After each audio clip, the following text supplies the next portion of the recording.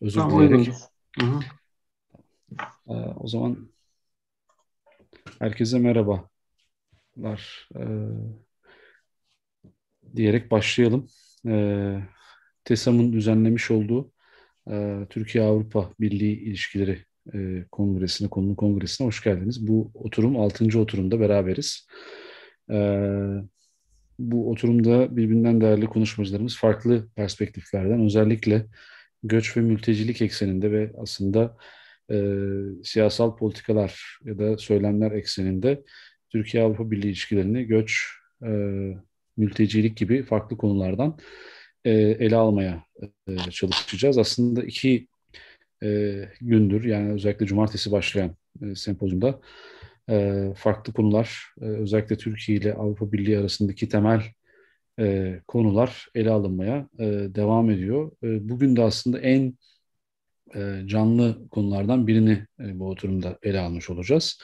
E, yani herhalde son e, 8-10 yılın en önemli gündemlerinden bir tanesi ve bundan sonra da galiba e, uzunca bir süre e, gündemde olacak bir e, konu. En ilgi çekici oturumlardan birindeyiz. Çok değerli konuşmacılarla konuşacağız. Bu oturumda 5 e, konuşmacımız var ve 20 dakikalık e, konuşmalar e, olacak. E, her bir e, katılımcıya sonrasında da sorulara cevap hakkı verme yani oturumun en sonunda cevap hakkı verme şansı olacak. Bu arada bizi izleyenler sorularını ulaştırabiliyorlarsa eğer işte YouTube üzerinden ya da chat üzerinden iletebilirler. Aynı zamanda tabii konuşmacılarımız da kendi aralarında sorularını yöneltebilirler birbirlerine. E, umarım e, faydalı bir e, oturum olur, keyifle e, geçecek bir oturum olur. Ben ilk sözü programda biraz değişiklik yaptık ama yine de e, ilk sözü e, Beyza Tekin Hoca'ya, doçent doktor Beyza Tekin Hoca'ya bırakmak istiyorum. Galatasaray Üniversitesi'nde kendisi. Evet hocam konuşmanızı yapmak üzere. Söz sizde 20 dakika sonrası için e, size sözü bırakıyorum. Buyurun. Teşekkür ederim. Ben sunumumu İngilizce hazırladım. O şekilde devam edeceğim. Today I'm going to present my paper on the discursive legitimation of Turkey-EU refugee deal. And my paper tries to explore the legitimation strategies employed in the European Union political discourse on migration cooperation with Turkey. And the analysis is conducted within the framework of critical discourse analysis. And the paper is based on a survey of the European Union political discourse, namely the statements by heads of states, politicians, and top-level European Union bureaucrats on Turkey-EU refugee deal. Also, my sources of empirical data is the European Parliament's plenary sessions on migration cooperation with Turkey. So here there is a list of minutes of the European Parliament on the European Union Turkey deal studied as part of this research. You have a list of parliamentary sessions I analyzed for this paper.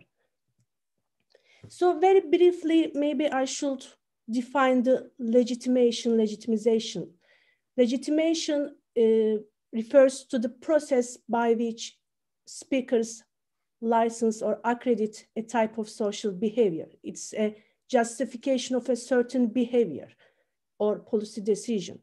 So legitimation is about providing an answer to the questions such as why we should do this. For example, why we should cooperate with Turkey. Why should we do this in this way? So is providing an answer to the above questions faced by all policy decision makers.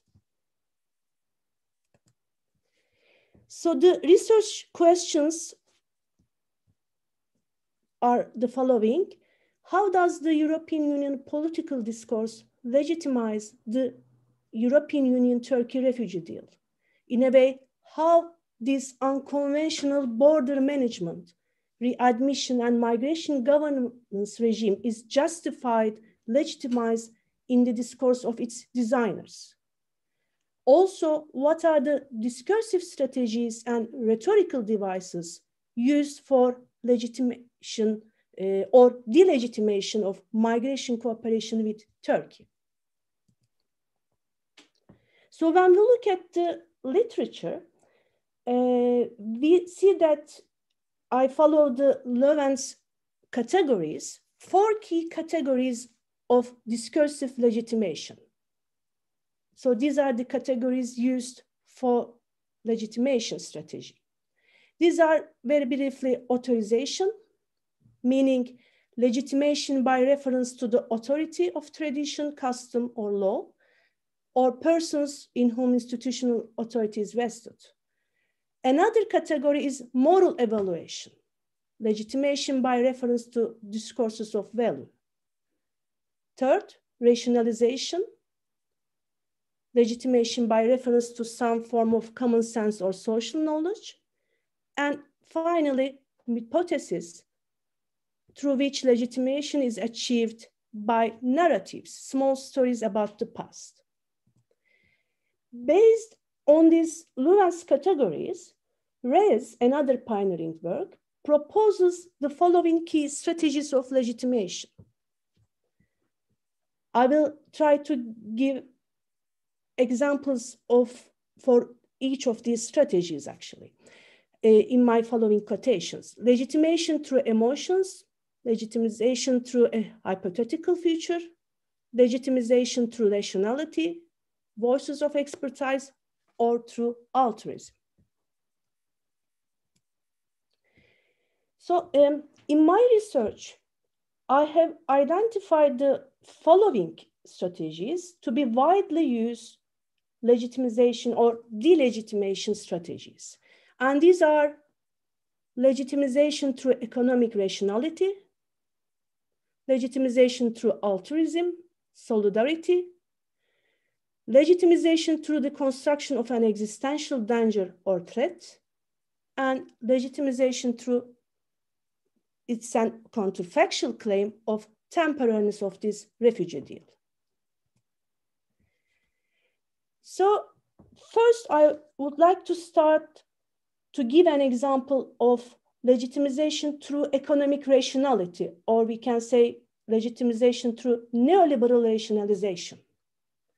More than often, we see that the EU-Turkey refugee deal is legitimized in the European Union political discourse as a rational investment decision. If we look at the quotations, for example, a quotation from Jean-Claude Juncker, the president of the European Commission at that time, he states, the agreement costs money, but it is money well invested. Another quotation from Donald Tusk, nothing in life is for free, including this agreement.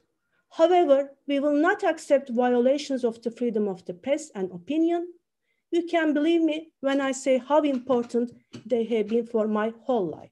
So we see that the EU-Turkey refugee deal is legitimized as a rational investment decision.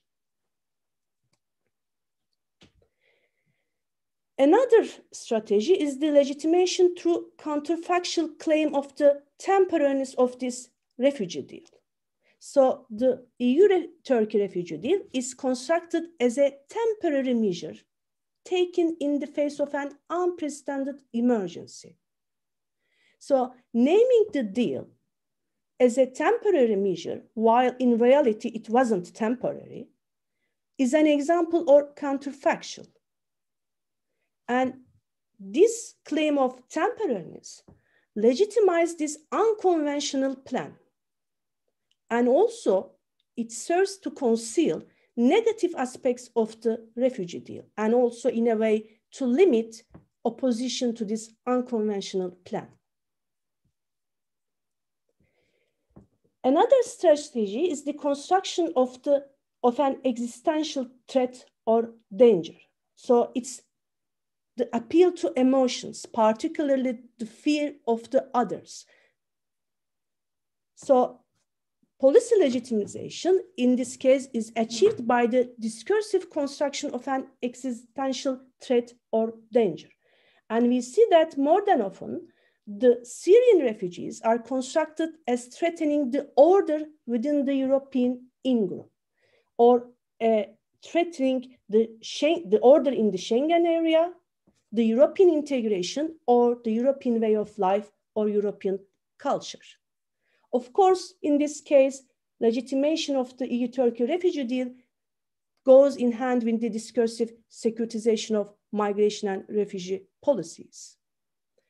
Also, we see the use of metaphors, such as natural disaster metaphors, constructing refugees uh, crisis as a wave, flood, tide, to tsunami, or metaphors of war, such as invasion, conquest, or Trojan horse. Here, there's a, another quotation. I want to cite it very shortly from, again, the European parliamentary debates, European Union parliamentary debates. The migration crisis last year was probably the single biggest catastrophe to hit the European Union in its history. In fact, I will go as far as to say that it has put the very existence of this project in jeopardy. When Merkel, Chancellor Merkel, and the Swedish government committed the equivalent of cultural suicide. I don't want to cite all of the quotations, but here we see how it is constructed as a threat. Um, here I want to mention uh, also the selective use of lexicals. In these debates, in these narratives, speakers use carefully selected lexicals. If we remember last year, uh, during the pandemic, uh, the events at the Greek-Turkish border, uh, during her visit, Merkel, when, uh, sorry, not Merkel, President of the European Commission, uh, Ursula von der Leyen, when she visited Athens following the border clashes in February uh, 2020, she stated that we will hold the line and our unity will prevail. And then she thanked Greece for being our European aspida. So aspida is the shield Greek phalanxes used to stop Persian attacks or invasion of the barbarians in these times. So this code, actually, using the word aspida, is quite important revelator of a strategic choice of lexical items. So it legitimized this policy decision supporting Greece and also revives past images and serve in a way to accentuate on the barbarian outside and the barbarian identity of a refugee by using this term aspida. Um, now I want to mention another important strategy uh, of legitimation, which is altruism. So we cooperated with Turkey because it was to the advantage of us, but also to the advantage of them, the refugees, but also Turkey. For example, these quotations, for the benefit of refugees, we need to cooperate with Turkey. Or another quotation from Merkel, such agreements are also in the interest of the refugees themselves.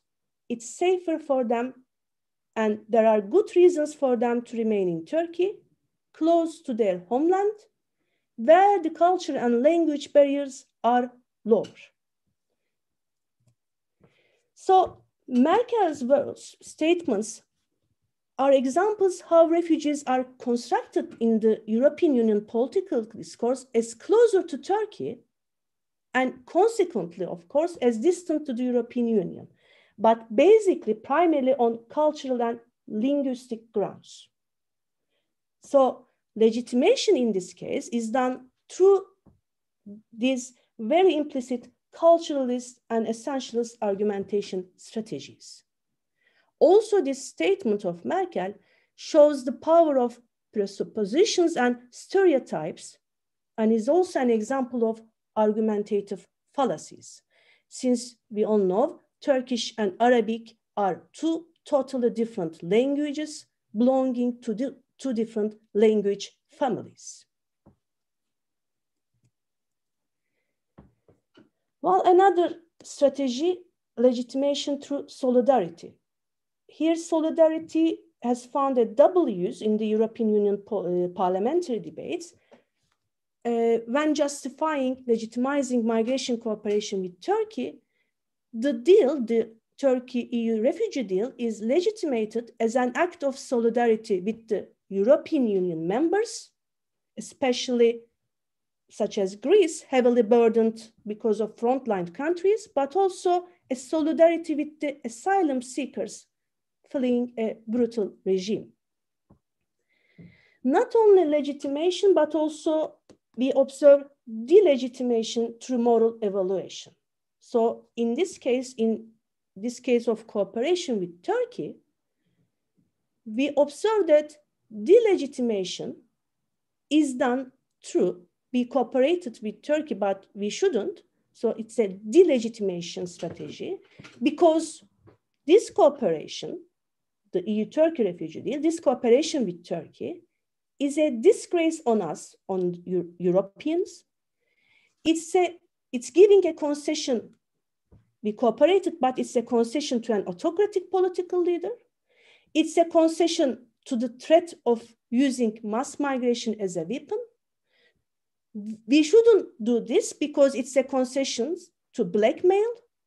It's a violation of cosmopolitan ideals or it's a violation of human or refugee rights we see in these quotations a very, uh, I think, a clear example of this delegitimation strategy. Again, a, from a parliamentary debate, the European Union-Turkey deal to outsource the refugee problem is a disgrace. The European Union is violating human rights and international law by detaining asylum seekers and forcibly deporting them without even the possibility to ask for asylum via a Kafkaesque Skype system, which is not operational. Idomeni will remain an ugly scar in our faces as Europeans. By failing to act, you are sinking Europe. So this is this can be given as an example of the legitimation of the deal through moral evaluation. Well, another strategy is the legitimation through cosmology, by which I mean the lack of a viable alternative. The European Union cooperated with Turkey because there was the lack of a better alternative, a viable alternative. So the deal is often constructed as an imperfect, incomplete, and problematic plan in the discourse of its designers, who then tries to legitimate the proposal as a rational search for a second best solution. So in the absence of a feasible better alternative, they cooperated with Turkey. Here the quotation to exemplify this lack of viable alternative. The solutions we are putting into practice are not ideal and we will not end our work also, the deal with Turkey is not perfect and we are fully aware of its risks and weaknesses, etc., etc. So they cooperated with Turkey because of a viable alternative. So another quotation, it was necessary to conclude quickly an agreement between the European Union and Turkey on migrant flows. In prevailing circumstances, the agreement is the best arrangement possible. It's not the best arrangement, but it's the best arrangement possible. Yes, Turkey is a difficult partner, but the most reliable one in the region. Uh, well, I would like to conclude actually my presentation. If there are questions, uh, I can further uh, elaborate on it, but we can say that more than often in the parliamentary debates, we see that the speakers talk about nightmare scenarios. So in this case, Europe turns into Arabia and millions of bogus refugees float to the European Union with fake passports they have bought in Turkey. So they threaten the European way of life and culture. Also, um, I observed the reference to not to an authority, but also the reference to impersonal authorities, such as the European Union acquis communautaire or international human rights and refugee law when talking about this EU-Turkey refugee deal. Uh, another observation I think which is important is that I observe that legitimation through a hypothetical future, through a nightmare hypothetical future actually, coincides also very much with the securitization of migration and refugee policy and also the construction of an existential danger. Thank you uh, for listening to me. That was the end of my presentation. Teşekkür ediyoruz yani e, Beyza hocamıza. E, kendisi Avrupa Birliği'nin e, söylem olarak ürettiği hususları çok farklı açılardan aslında tartışmaya açmış oldu. Ben çok sözü uzatmadan aslında kısa özetler yapmayacağım ama sonrasında belki farklı tartışmalar olabilir besleyecek konularla. Diğer bir konuşmacımızla devam etmek istiyorum. Erzincan Üniversitesi'nden, Erzincan Binali Yıldırım Üniversitesi'nden doktor öğretim üyesi Recep Bilmez Bey'e sözü bırakacağım. Türkiye-Avrupa Birliği ilişkilerinde Suriyeli mülteci sorununun sınırsal kökeni adlı konuşması için. Söz sizde buyurun Recep Bey.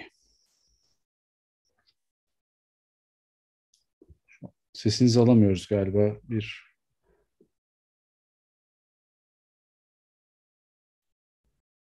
Evet, sanıyorum bağlantınızda yani mikrofonunuz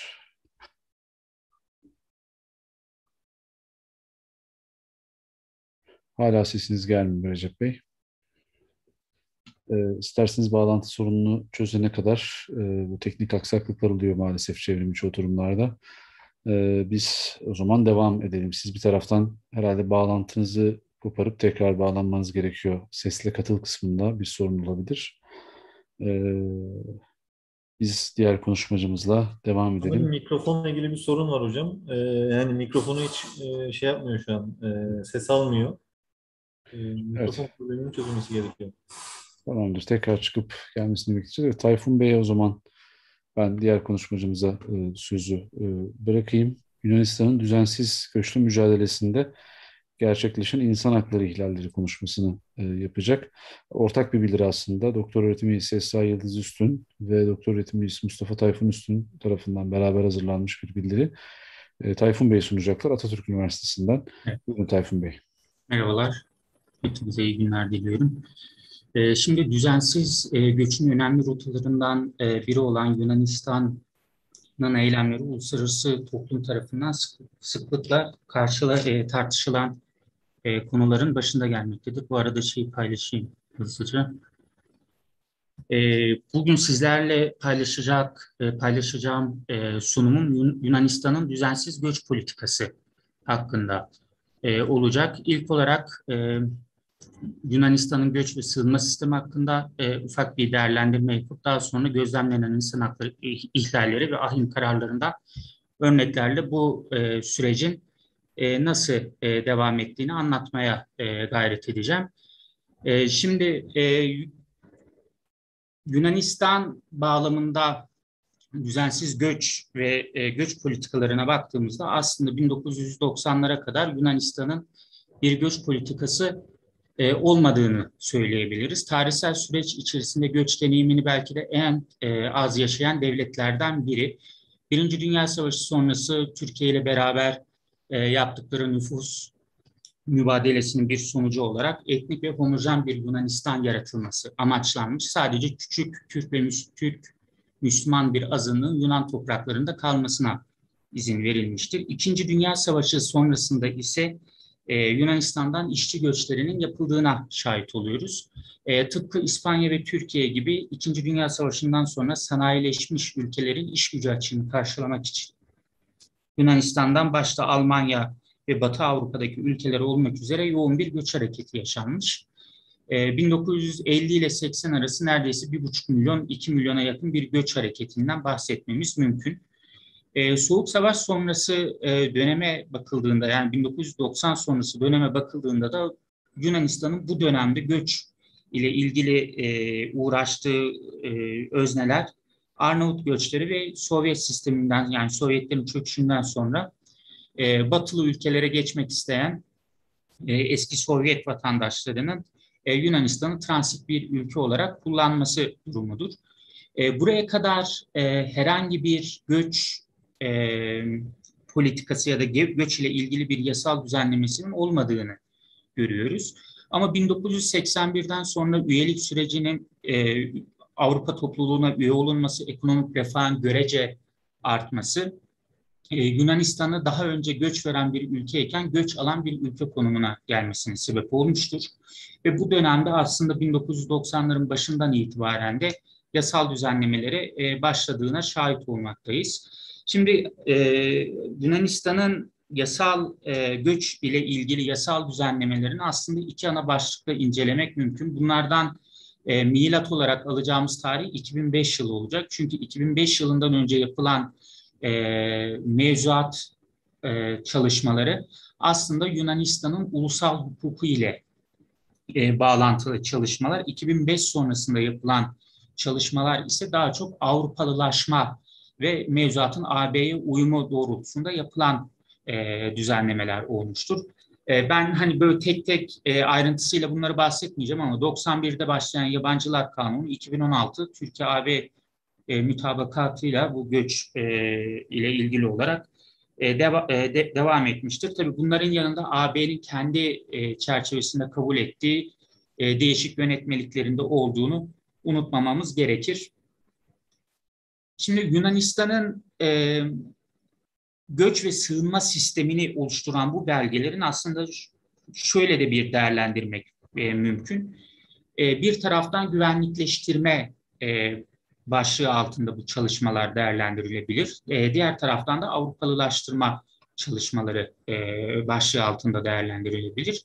Şimdi göç çoğu zaman güvenlikçi bir yaklaşım ile Yunanistan'da ele alınmıştır. Ortaya çıkan durum karşısında anlık tepkiler verilmesi hesaplanmıştır. Ayrıca tarihsel süreçte gelişmiş olan mevzuat birbirini tamamlayan ve göçü engelleyici bir bakış açısını yansıtmaktadır. E, bu noktadan aslında uluslararası ilişkiler teorileriyle bir, e, bir bağ kurduğumuzda şunu görmemiz mümkün.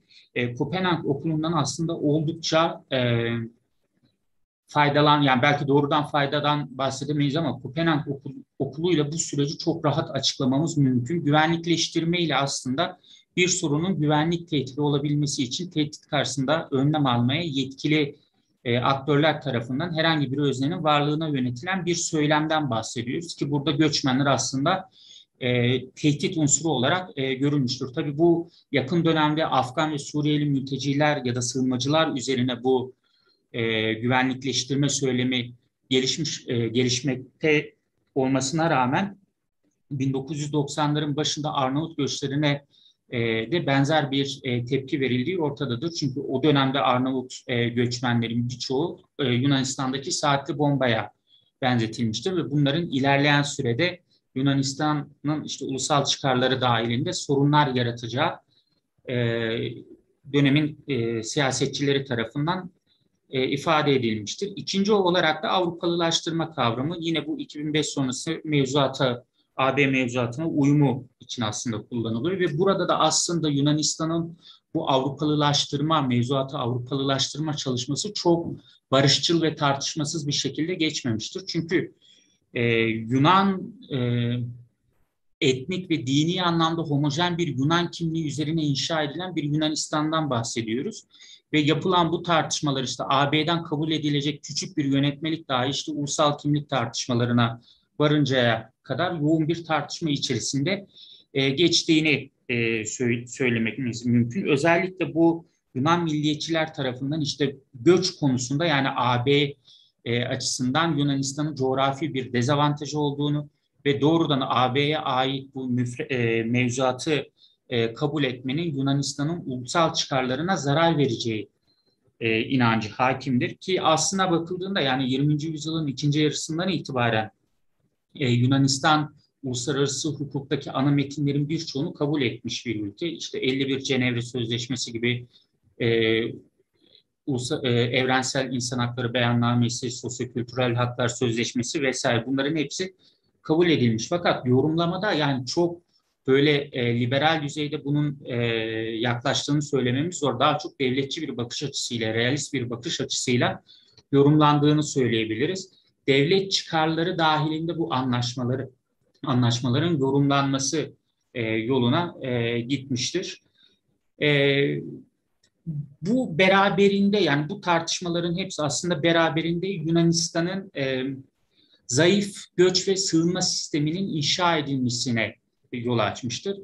Zayıf bir sistem e, inşa edilmesi e, zam, tarihsel süreç içerisindeki burada 1915 e, 2015 sonrası göçler ağırlıklı yoğun bir kitlesel göç ile karşılaş, karşılaştığında sistem zaten çalışmaya müsait olmadığı için otomatikman hata yapma üzerine inşa edilmiş bir sistem olduğundan e, mevcut e, sığınmacılara ve göçmenlere yönelik e, insan hakları ihlallerini çok net bir şekilde gözlemlememiz e, mümkün. Özellikle sivil toplum kuruluşları ve e, insan hakları örgütü, örgütleri tarafından çeşitli dönemlerde yayınlanan hemen hemen her raporda Yunanistan'ın bu ihlalleri e, yaptığı e, sığ, e, yaptığını söylememiz e, mümkün. Yani istisna herhalde yani Yunanistan'dan bahsetmeyen bir rapor istisnai bir rapordur. Mutlaka Yunanistan'ın bir eyleminden bahseden bir rapor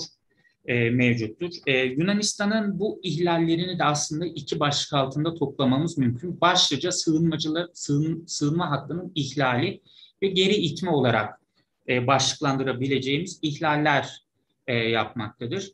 Şimdi Yunan yetkililer e, deniz ya da karayoluyla e, Yunanistan sınırlarına gelmiş olan sığınmacıların e, ya işte medyadan e, gördüğümüz hepimizin aşina olduğu kadarıyla ya botları işte batırıp ya da Yunan karasularının ötesine iteleme e, durumu durum e, öteleme eyleminin yaptığına şahit oluyoruz ki burada aslında sığınma hakkı hiç baş hiç başvurulacak bir hak olarak kullanılmıyor. Yani doğrudan yetkililer sığınma hakkı başvurularını almaktan imtina ediyor. Karayoluyla gelenler ise genellikle bu işte Türkiye rotası izlenerek e, geliniyor ki orada da işte sınırı geçen göçmenlerin yani Yunan toprakları içerisinde yakalanarak işte üstlerinin soyulması, kötü muamele e, ya da işkenceye maruz kal kalarak tekrar Türkiye sınırına doğru bir geri itmesinden e, bahsetmemiz e, mümkün ki bunlar e, ana e, ihlalleri e, oluşturmakta. Bunlara ek olarak bir de Yunanistan'ın ana toprağı, ana kıtası içerisinde, ana toprak e, toprağı içerisinde yakalanan göçmenlerin de uzun gözaltıları, işkence ve insan onurunu zedeleyen davranışlar ile karşılaştığını da hatırlatmamız e, gerekiyor. Uluslararası Af Örgütü, AB Mülteciler ve Sürgünler Konseyi İnsan Hakları İzleme Örgütü'nün raporlarında da bu sorunların sistematik bir biçimde e, devam etti. Özellikle 2016'daki geri kabul anlaşmasından sonra da Yunanistan'ın sığınmacılara karşı eylemlerini e, şid, e, eylemlerinin şiddetinin arttığı ve buna bağlı olarak ihlallerinde e, çeşitlendiği e, söylenmektedir. Bu raporlara yansımıştır. Şimdi ahim kararları açısından bu duruma baktığımızda da Yunanistan'ın eylemleri birçok davanın konusu haline gelmiştir. E, bu davalar arasında e, Yunanistan ve İtalya'ya karşı açılan e, Şarifi ve diğerleri davasında geri gönderme yasağının doğrudan ihlali e, tespit edilmiş. E, CR ve diğerleri e, davası yine Yunanistan'a karşı açılan bir dava. Afgan vatandaşı olan başvurucunun Sakız Adası'na ulaşması ve tutuklanması sonrasında açılan bir e, dava. Ardından e, Vial tesisine e, göçmen kabulü kimlik ve kayıt merkezi için yerleştirilmiş. Bir ay sonra da bu tesis yere açık hale gel gelmiş e, ve başvurucunun gün boyu dışarı çıkmasına izin verilmiştir. Fakat burada işte bir alıkoyma e, durumunun e, yani zorla tutulmama, e, zorla tutmama e, yasağının ihlali olarak bunu görmemiz mümkün. Yunanistan e, bağlamında bu düzensiz göç ile mücadelede en, belki de en fazla ihlalin yaşandığı noktalardan biri de e, Yunanistan'ın e, refakatsiz e, çocuk sığınmacılara ve hassas grupta olan hamileler gibi e, kişilere uyguladığı e, muameleler oluyor. Bunları normalde ayrı bir prosedürden e, sığınma başvurularının sonuçlandırılması gerekirken işte bunları kalabalık kamplarda aynı diğer gruplarla aynı ortamlarda barındırması e, doğal olarak o grup içerisinde de farklı bir şiddet ortamını ya da farklı e, ihlallerin yaşanmasına sebebiyet vermektedir.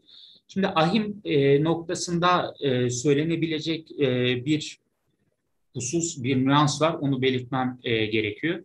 Şimdi aslında Avrupa İnsan Hakları Sözleşmesi geri gönderme yasağına dair özel bir düzenleme yapmıyor. Ama sözleşmenin tamamlayıcı e, koruma özelliğinden dolayı geri gönderme yasağı genellikle sözleşmenin 2 ve 3. maddesinde e, yer alan yaşam hakkı ve işkence yasağı kapsamında değerlendiriliyor. Yani ahim e, doğrudan e, insanların yaşam hakkı ve e, işkence yasağını ihlal ettiği için Yunanistan'a e, dava e, Yunanistan aleyhinde davaları sonuçlandırabiliyor. Tabii Avrupa Konseyi Yunanistan'ın geri itme e, iddialarında baskın kanıtlar olmasına rağmen de e, sadece Yunanistan'ın yalanlama e, ile bir savunma e, verdiği söylemekte ve bu çözümün artık yeterli olmayacağını söyleyerek aslında bir e, tehdit e, dilini de benimsemiş e, durumdadır. 2021 yılının işte ortalarından itibaren şahit olduğumuz Afgan mülteciler ya da Afgan sığınmacılar olayında da yine benzer e, davaların açıldığını birkaç sene içerisinde de Yunanistan aleyhine sonuçlanmasının şaşırtıcı olmayacağını söylememiz mümkün. E, bu şimdi teknik anlamda e, göçün engellenmesi, sığınmacıların Yunan topraklarında engellenmesi, sayısal anlamda belki e, işte sığınma başvurularının sayısını düşürme e, düşürdüğü görülebilir. E, AB'nin diğer belgelerinde özellikle Frontex'in raporlarında bu bir başarı olarak da lanse edilebilir. Ama e, bunun şimdi sığınmacılar aleyhine verdiği e, çok ciddi hasarlar var, e, zararlar var. E, ayrıca AB'nin kurucu ilkeleri ve 1950'den itibaren e, gelişmeye çalışan insan hakları ve uluslararası toplumun işte o kolektif ürünlerine de ciddi anlamda zarar veriyor. E, ya benim şimdi anlatacaklarım bu kadar. Dinlediğiniz için teşekkür ederim. E, sorular kısmında belki biraz daha ayrıntıya girme imkanımız olabilir. Hepinize teşekkür ederim. Çok teşekkür ediyoruz Tayfun Bey sunumunuz için. Ee, şimdi diğer konuşmacımıza geçeceğiz. Bu e, özellikle göç meselesinde Yunanistan'ın konumuna dair aslında temel noktaları e, ele almış e, oldu Tayfun Bey. Şimdi eğer e, uygunsa Recep Bey'in sesini duyabiliyorsak bir deneyelim. Yok henüz sorun çözülmüş gözükmüyor. Sanıyorum tekrar sistemden çıkıp girmeniz gerekiyor. Biz o zaman e, Hocam şimdi geliyor mu? Recep Bey buyurun. Evet hocam. Sanırım iki cihazdan bağlandınız. Bir cihazınızın sesini kapatmanız gerekiyor. Ee, hocam bir dakika şöyle. Hocam bilgisayarınızın sesini kapatırsanız e, siz daha rahat duyabilirsiniz. Yankı yapıyor şu an. Şöyle yapayım. Şimdi hocam. Evet gayet iyi. Peki. Daha iyi değil mi? Hı hı, daha iyi. Şimdi Recep e, Bey Erzincan Bilani Yıldırım Üniversitesi'nde ve bize Türkiye Avrupa Birliği ilişkilerinde Suriyeli mülteci sorununun sınırsal kökenini anlatacak. Buyurun söz sizde 20 dakikanız var. Evet hocam. Şimdi öncelikle bu teknik aksaklıktan dolayı özür dilerim. Organizasyonu düzenleyen arkadaşlara da bu organizasyondan dolayı çok teşekkür ediyorum. Ee, çift cihaz bağlanmak zorunda kaldım. Ee, onun da sebebi bilgisayardaki sorunu çözemedim. Ayrıca telefondan e, sesli e, sesi ses sorununu çözmek istiyorum. O yüzden telefondan bağlandım. Sunumumu diğer bağlandığım yani bilgisayardan yapmak istiyorum. Ee, şöyle share screen dediğim zaman herhalde sorun olmaz diye düşünüyorum. Şuradan şöyle yapalım.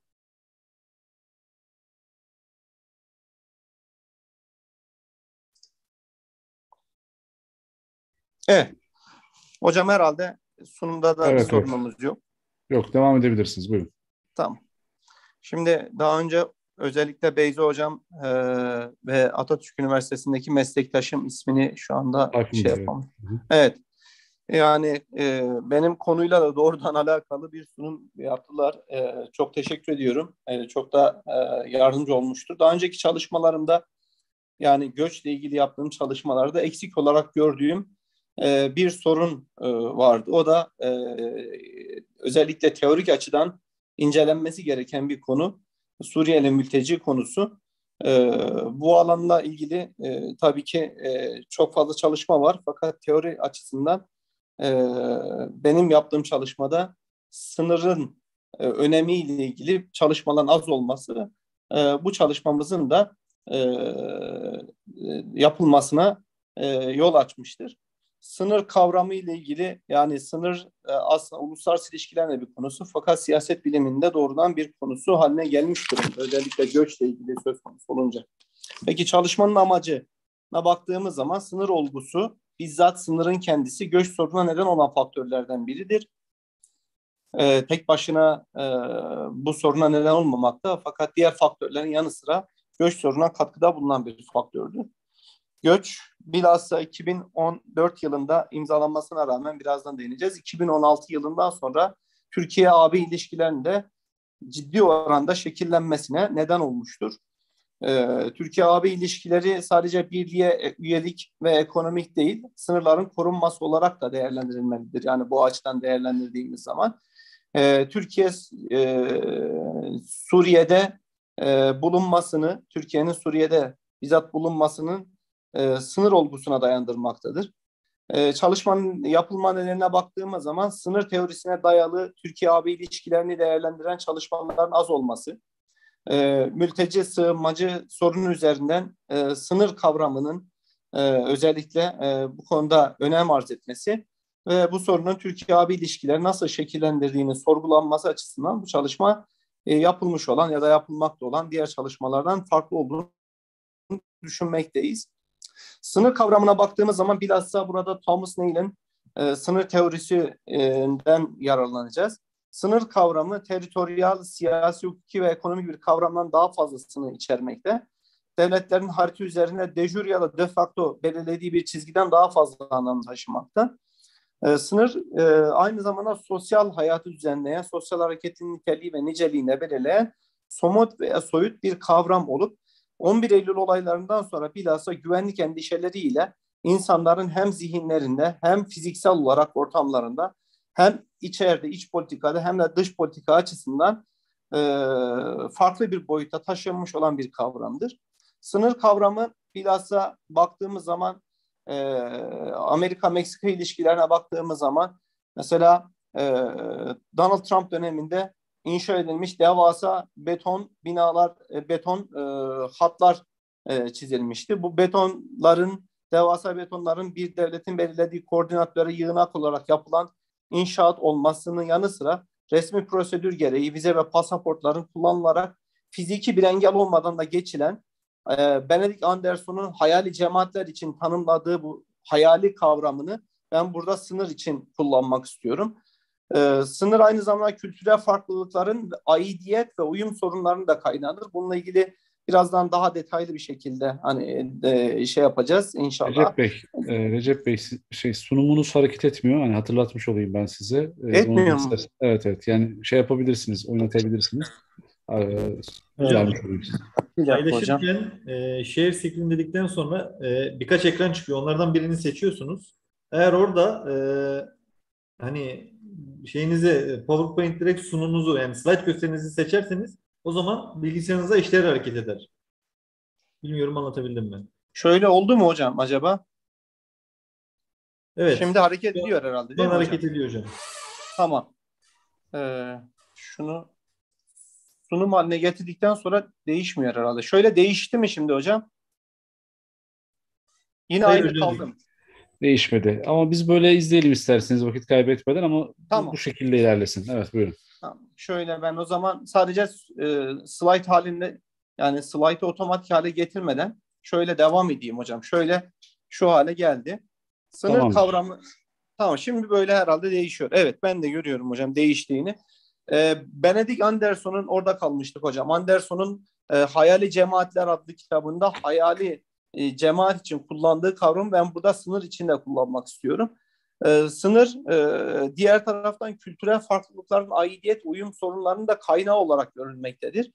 E, insanların özgürlüklerinin, ekonomik kurtuluşlarının e, belirlendiği e, güvenlik endişelerine giderildiği hat olarak değerlendirilebilir sınır. Şimdi teoriye geldiğimiz zaman e, bu çalışmanın teorisi aslında Thomas Nail'in sınır teorisine dayalı bir çalışma. Limoloji olarak geçiyor sınır bilimi. Sınır araştırmaları ya da sınır çalışmaları limoloji adıyla ele alınmakta. Bu teoriye göre sınırlar iki devlet arasında belirlenen hat olarak değerlendirilebilir. Ancak iki, devlet arasında kalan çizgi e, insanların sosyal yaşamını, e, devletlerin siyasal hedeflerini e, ve uluslararası ilişkilerde belirlemektedir. Bu hat zamanla e, değişmekte e, ve e, siyasi, sosyal, ekonomik, hukuki sorunları da beraberine getirebilmektedir.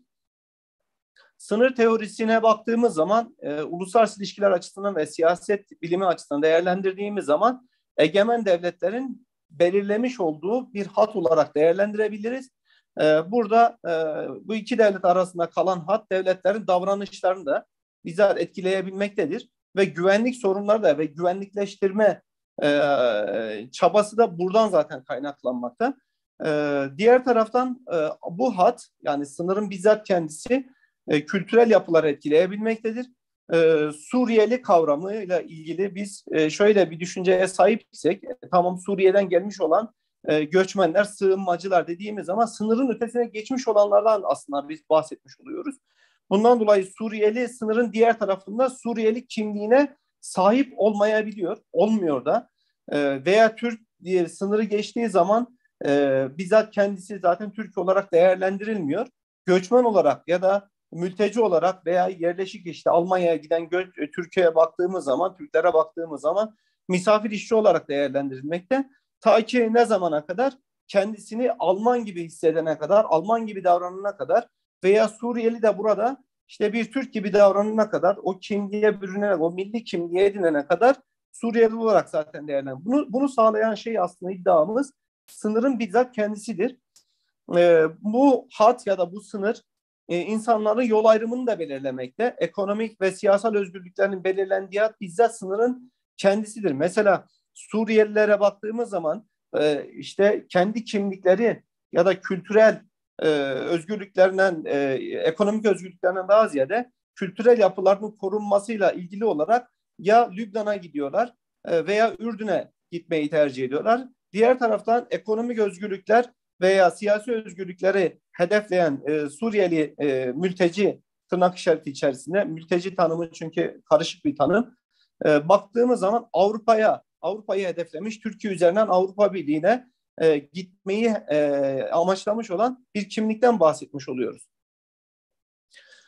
E, şimdi sınır teorisi diğer taraftan e, şunu da söylemektedir. E, sınırlar e, evet iki devlet arasında bulun, bulunan bir hat olarak değerlendirilebilir. Fakat bu hat zamanla e, gerek coğrafi etkenlerden e, yani yer kayması, deprem, volkanik hareketler gibi coğrafi etmenlerden dolayı değişebilmekte veya sınırlar sabit olarak kalıp diğer taraftan insanların hareketlerinden dolayı e, sınırların e, bulunduğu çizgi, o hat değişebilmektedir. Mesela Meksikalılar bugün e, Murat Hocam'la da ortak bir arkadaşımızdır. Glenn Masher e, onunla şey yapmıştık. Bu konuyu çok fazla tartışmıştık. Texas sınırıyla Meksika sınırı, Texas, Texas ve Meksika zaten e, sır sırta. E, buradan e, Meksikalıların akışı Texas'ın bir e, Texas sınırının aşağıya doğru kaymasına neden olmuştur. Bu da göç hareketliliğinden tabii kaynaklıdır.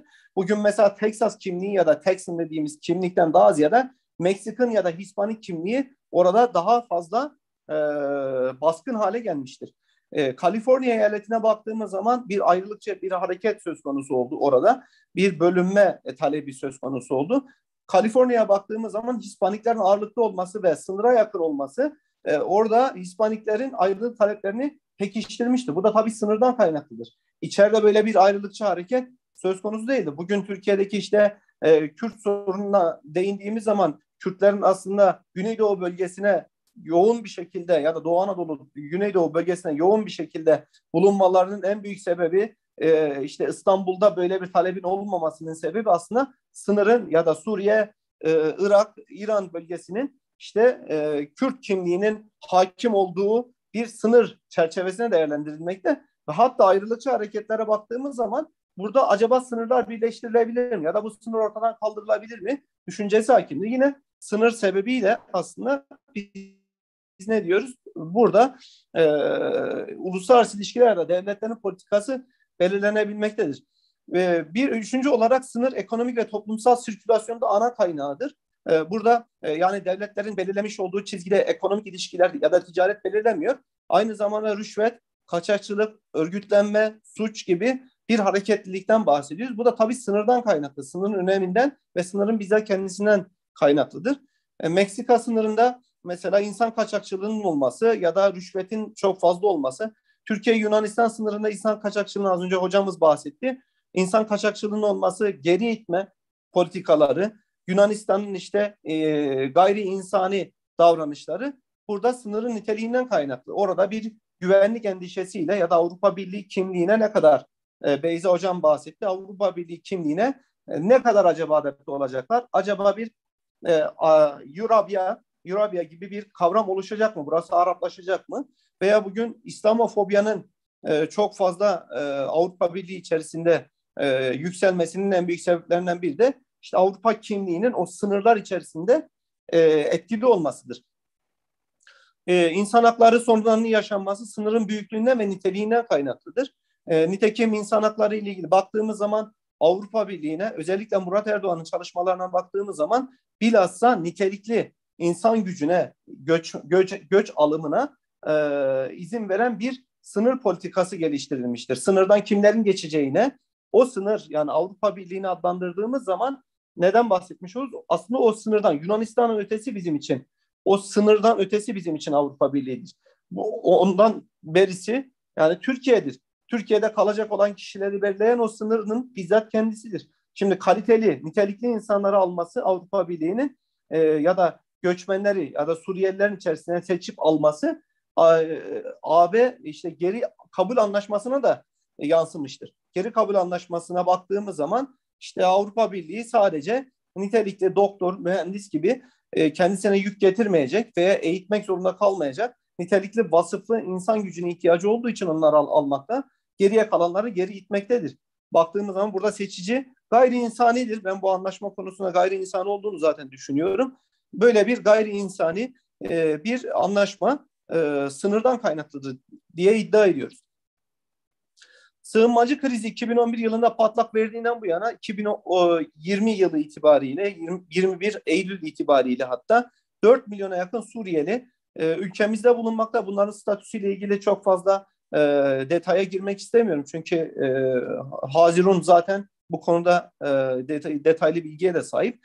E, fakat e, Sayın e, Recep Tayyip Erdoğan'ın da yine Cumhurbaşkanımızın da söylediği e, bazı iddialar da var tabii. E, burada e, Suriye'de neden Türkiye Suriye'de ya da Akdeniz'de bizim olmamız gerektiği ile ilgili e, tartışmalar söz konusu. Bu tartışmada bilhassa işte 10 bin kilometre öteden gelen bir ABD'nin ya da Fransa'nın e, hemen yanı başımızda Fransa'nın Suriye'de ne işi varsa bizim de bundan dolayı e, işimiz var. 911 kilometrelik bir sınır hattına sahip olan Türkiye elbette ki bu sınır kavramı üzerinden yine e, meşruiyet arayarak arayarak e, Suriye'de bulunmamızı meşrulaştırmaya e, yani sınır kavramı üzerinden e, Suriye'de bulunmamız meşrulaştırılmaktadır.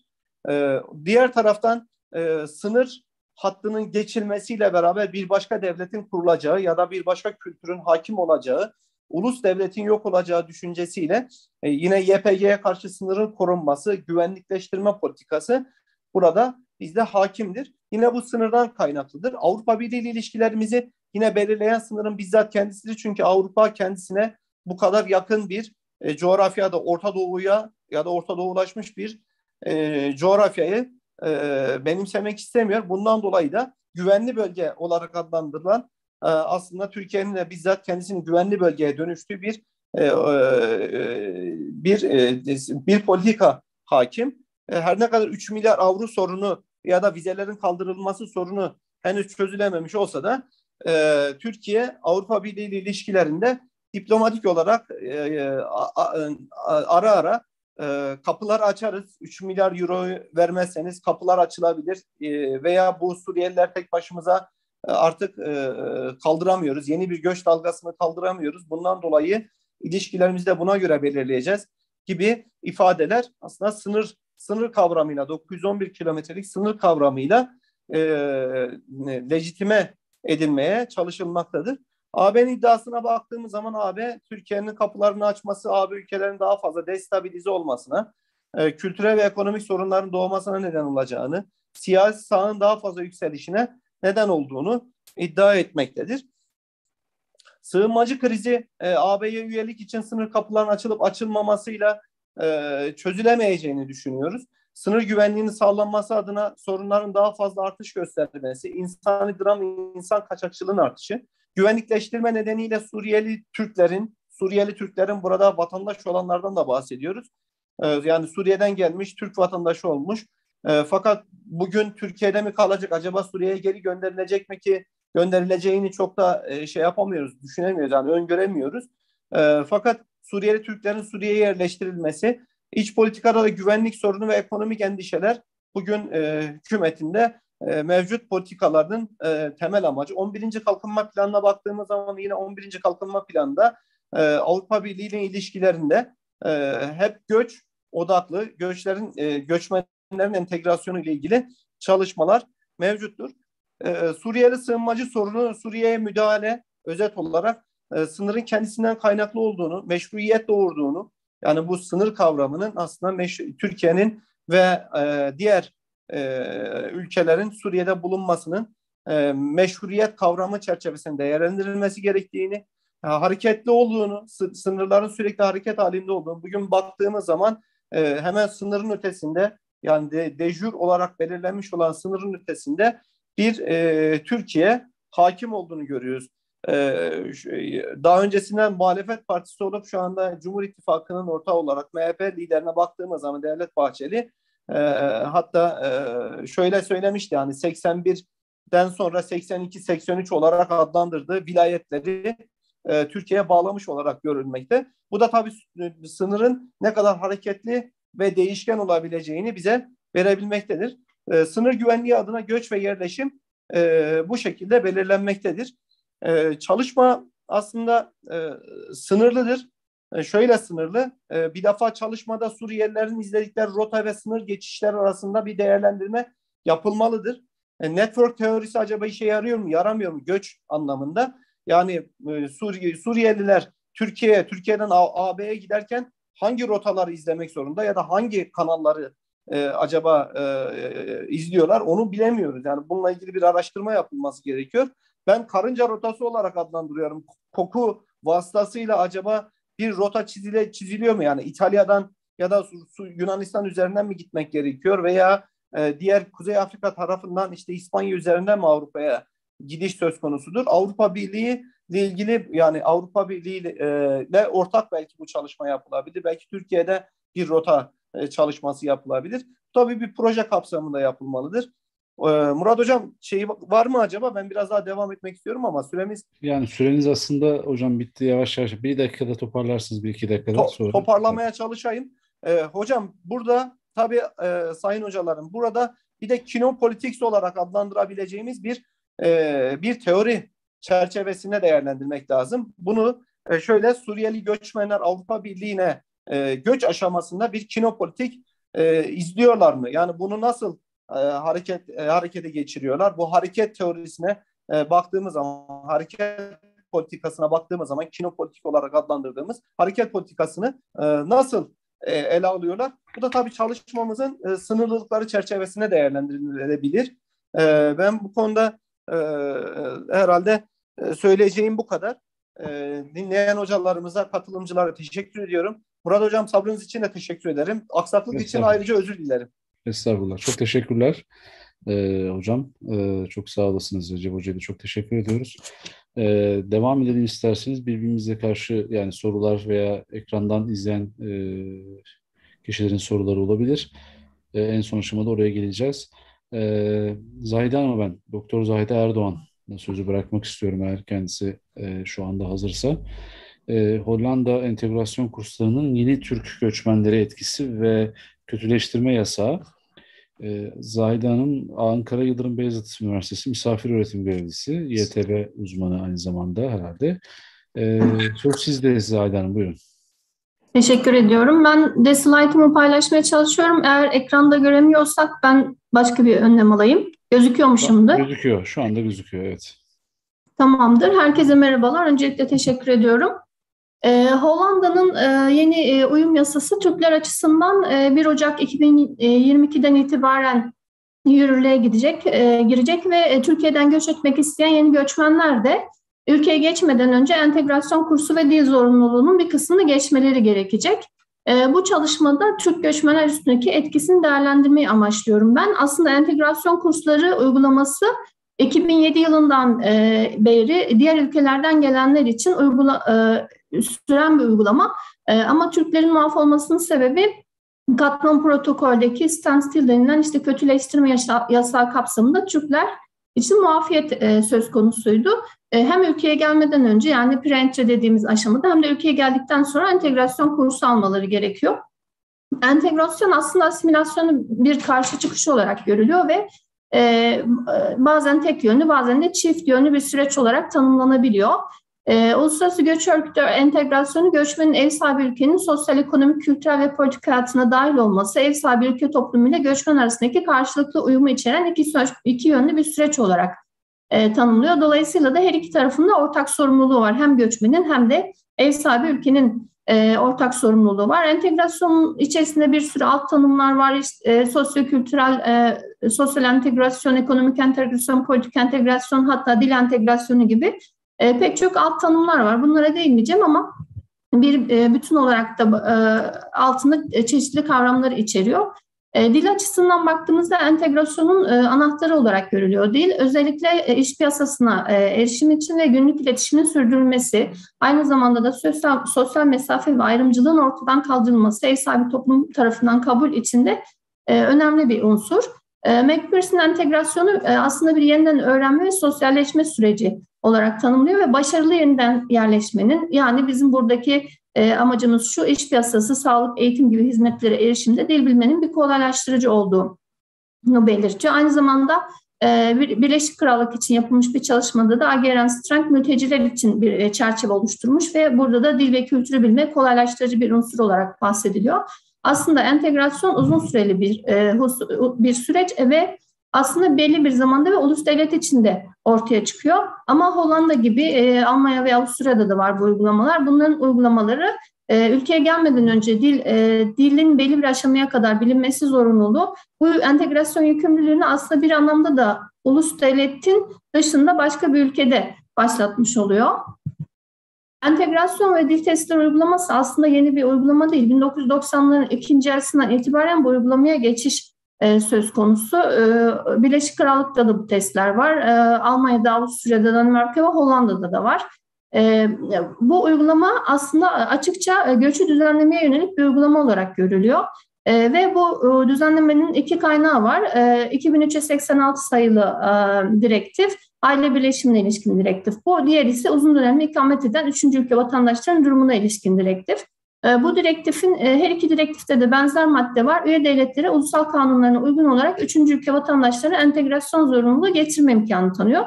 Bu kısa süre, süreli e, seyahat edecekler için değil, bu uzun dönemli orada ikamet edecek, yaşayacak kişiler için böyle bir yükümlülük söz konusu. Ama bu direktiflerin ikisinde de şöyle bir şart yok. Ülkeye girmeden önce yapılır veya ülkeye girmeden önce bu yükümlülük getirebilir diye herhangi bir ayrım yapılmıyor. Burada bir e, açıklık bırakılmış. Yani ister e, ülkeler e, buna dayanarak girmeden önce de başlatabiliyorlar. Hollanda'da e, entegrasyon uygulaması az önce belirttiğim gibi 2007'deki e, bir yasayla başlatılıyor. E, bu yasa kapsamında aslında 2011 yılına kadar e, e, Türkler de bu entegrasyon uygulaması kapsamında özellikle aile bileşim kapsamında gidecek eşleri için uygulama kapsamında e, Hollanda dilini öğrenmeleri gerekiyor. özellikle de test sınava girmeleri gerekiyor. Bu sınavların da ciddi ücretleri var. 350 euro gibi bir ücret. bu kurslardan muafiyetler AB ülkelerinden gelenler için Liechtenstein, Norveç, İzlanda ve İsviçre bu entegrasyon kurslarından muaf. Ayrıca 18 yaşından küçükler için bir muafiyet söz konusu. 8 yıl Almanya'da yaşayanlar, Hollanda'da eğitim alanlar, az önceki hocanın belirttiği nitelikli göçüne benzer bir şey burada da var. E, geçici olarak eğitim, çalışma veya değişim programına gelenler de bunlardan muaf. E, buradaki husus 2011'e kadar muaf ama 2011 yılında e, entegrasyon kursu al, almak zorunda kalan Türkler e, bir araya geliyorlar ve bir tür e, dernekleşiyorlar. E, ve e, hükümete dava açıyorlar. E, bu kurslardan muaf olmaları gerektiğine ilişkin kötüleştirme yasağını öne sürerek dava açıyorlar. E, hükümet de bunun üzerine geri adım atıyor ve 2011 yılından itibaren e, Türkler entegrasyon e, kurslarından muaf bir hale geliyor. E, ama Hollanda e, yeni uyum yasasını e, iki yıldır tartışıyorlar bu uyum yasasını. 1 ee, Ocak 2022 tarihinden itibaren yürürlüğe girecek yeni uyum yasası kapsamında Türklerin de entegrasyon e, kurslarına tabi olması gerektiğini açıklıyor. Ee, burada entegrasyon e, yeni uyum yasasındaki e, farklı bir şey aslında biz diyor topluma ücretli çalışmayı ve dil öğrenmeyi e, iyileştirmeyi amaçlıyoruz ve entegrasyon sorumluluğunu da belediyelere veriyoruz e, diye e, bir önceki uygulamadan farklı bir uygulamaya geçiyorlar. Bu arada Türkler de bu sorumluluk kapsamına giriyor. Aslında bu 2020'den beri başlayan bir çalışma ee, ama içerisinde örneğin okuma yazma bilmeyenler için entegrasyon yükümlülüğünü hafifleten bazı düzenlemeler de var. Her şey zorlaştırma yönünde değil ama etkin yönetimi sağlamaya yönelik bazı düzenlemeler de var. E, kurslara bakıldığında kurslar genel olarak işte nasıl iş bulunur, randevu nasıl alınır, Hollanda'da ne tür okullar var gibi günlük pratiğe ilişkin uygulamalar da var. Sistem değişikliğinin amacı hızlı iş bulmak ve dil, öğretim, dil öğrenmek olarak gerekçelendiriliyor. Üç tane yol var. B1 yolu dediğimiz yol çalışarak ya da çalışmayarak e, ücretli ve ücretsiz bir işte çalışma yoluyla e, entegrasyonu sağlamanız gerekiyor. Eğitim yolu dediğimiz bir e, diploma ya da işte e, akademik yeterlilik ya da bir mesleki yeterlilik almak için eğitim olarak bu yolu tamamlayabiliyorsunuz. Bir de bir üçüncü var, e, kişisel entegrasyon planı diyebileceğimiz bir şey. Ben bu ikisini de yapamıyorum, kendim bir entegrasyon planı hazırlayacağım da diyebiliyorsunuz. E, burada da işte kredi alacağım, dil öğreneceğim veya şunu e, eğitime katılacağım, bir okula kaydolacağım gibi farklı farklı yöntemler. Bu kişinin kendisine bağlı bir entegrasyon yöntemi. E, Türklerin gidişinde iki aşamalı bir entegrasyon olacak bundan sonra. Hollanda'ya gitmeden önce bazı temel sınavlar olacak. Burada gittikten sonra da e, belediyelerin kişiye özel hazırladığı programlar olacak entegrasyona ilişkin. Bunları geçmeleri gerekecek. E, bütün bu söylediklerim aslında 1 Ocak 2022'den itibaren uygulamanın yürürlüğe gireceğinden hareketle söylüyorum. 18 Kasım'da yapılan açıklamada uygulama Türkler içinde yürürlüğe girecek şeklinde açıklama yapıldı. Ama hükümet e, geri adım atabilir mi? Şu anda onu bilmiyoruz. Hani e, şu anki hazırlıklar e, uygulamanın yürürlüğe gireceği e, yönünde. Kişiler bu kursların parasını kendi ödemeleri gerekiyor ama sığma talebinle gittilerse ve sığma talepleri kabul edildiyse herhangi bir ücret ödemiyorlar. Entegrasyon süreci 3 yıl olarak belirlenmiş ve 3 yılın sonunda yeniden bir sınav geçmeleri gerekiyor.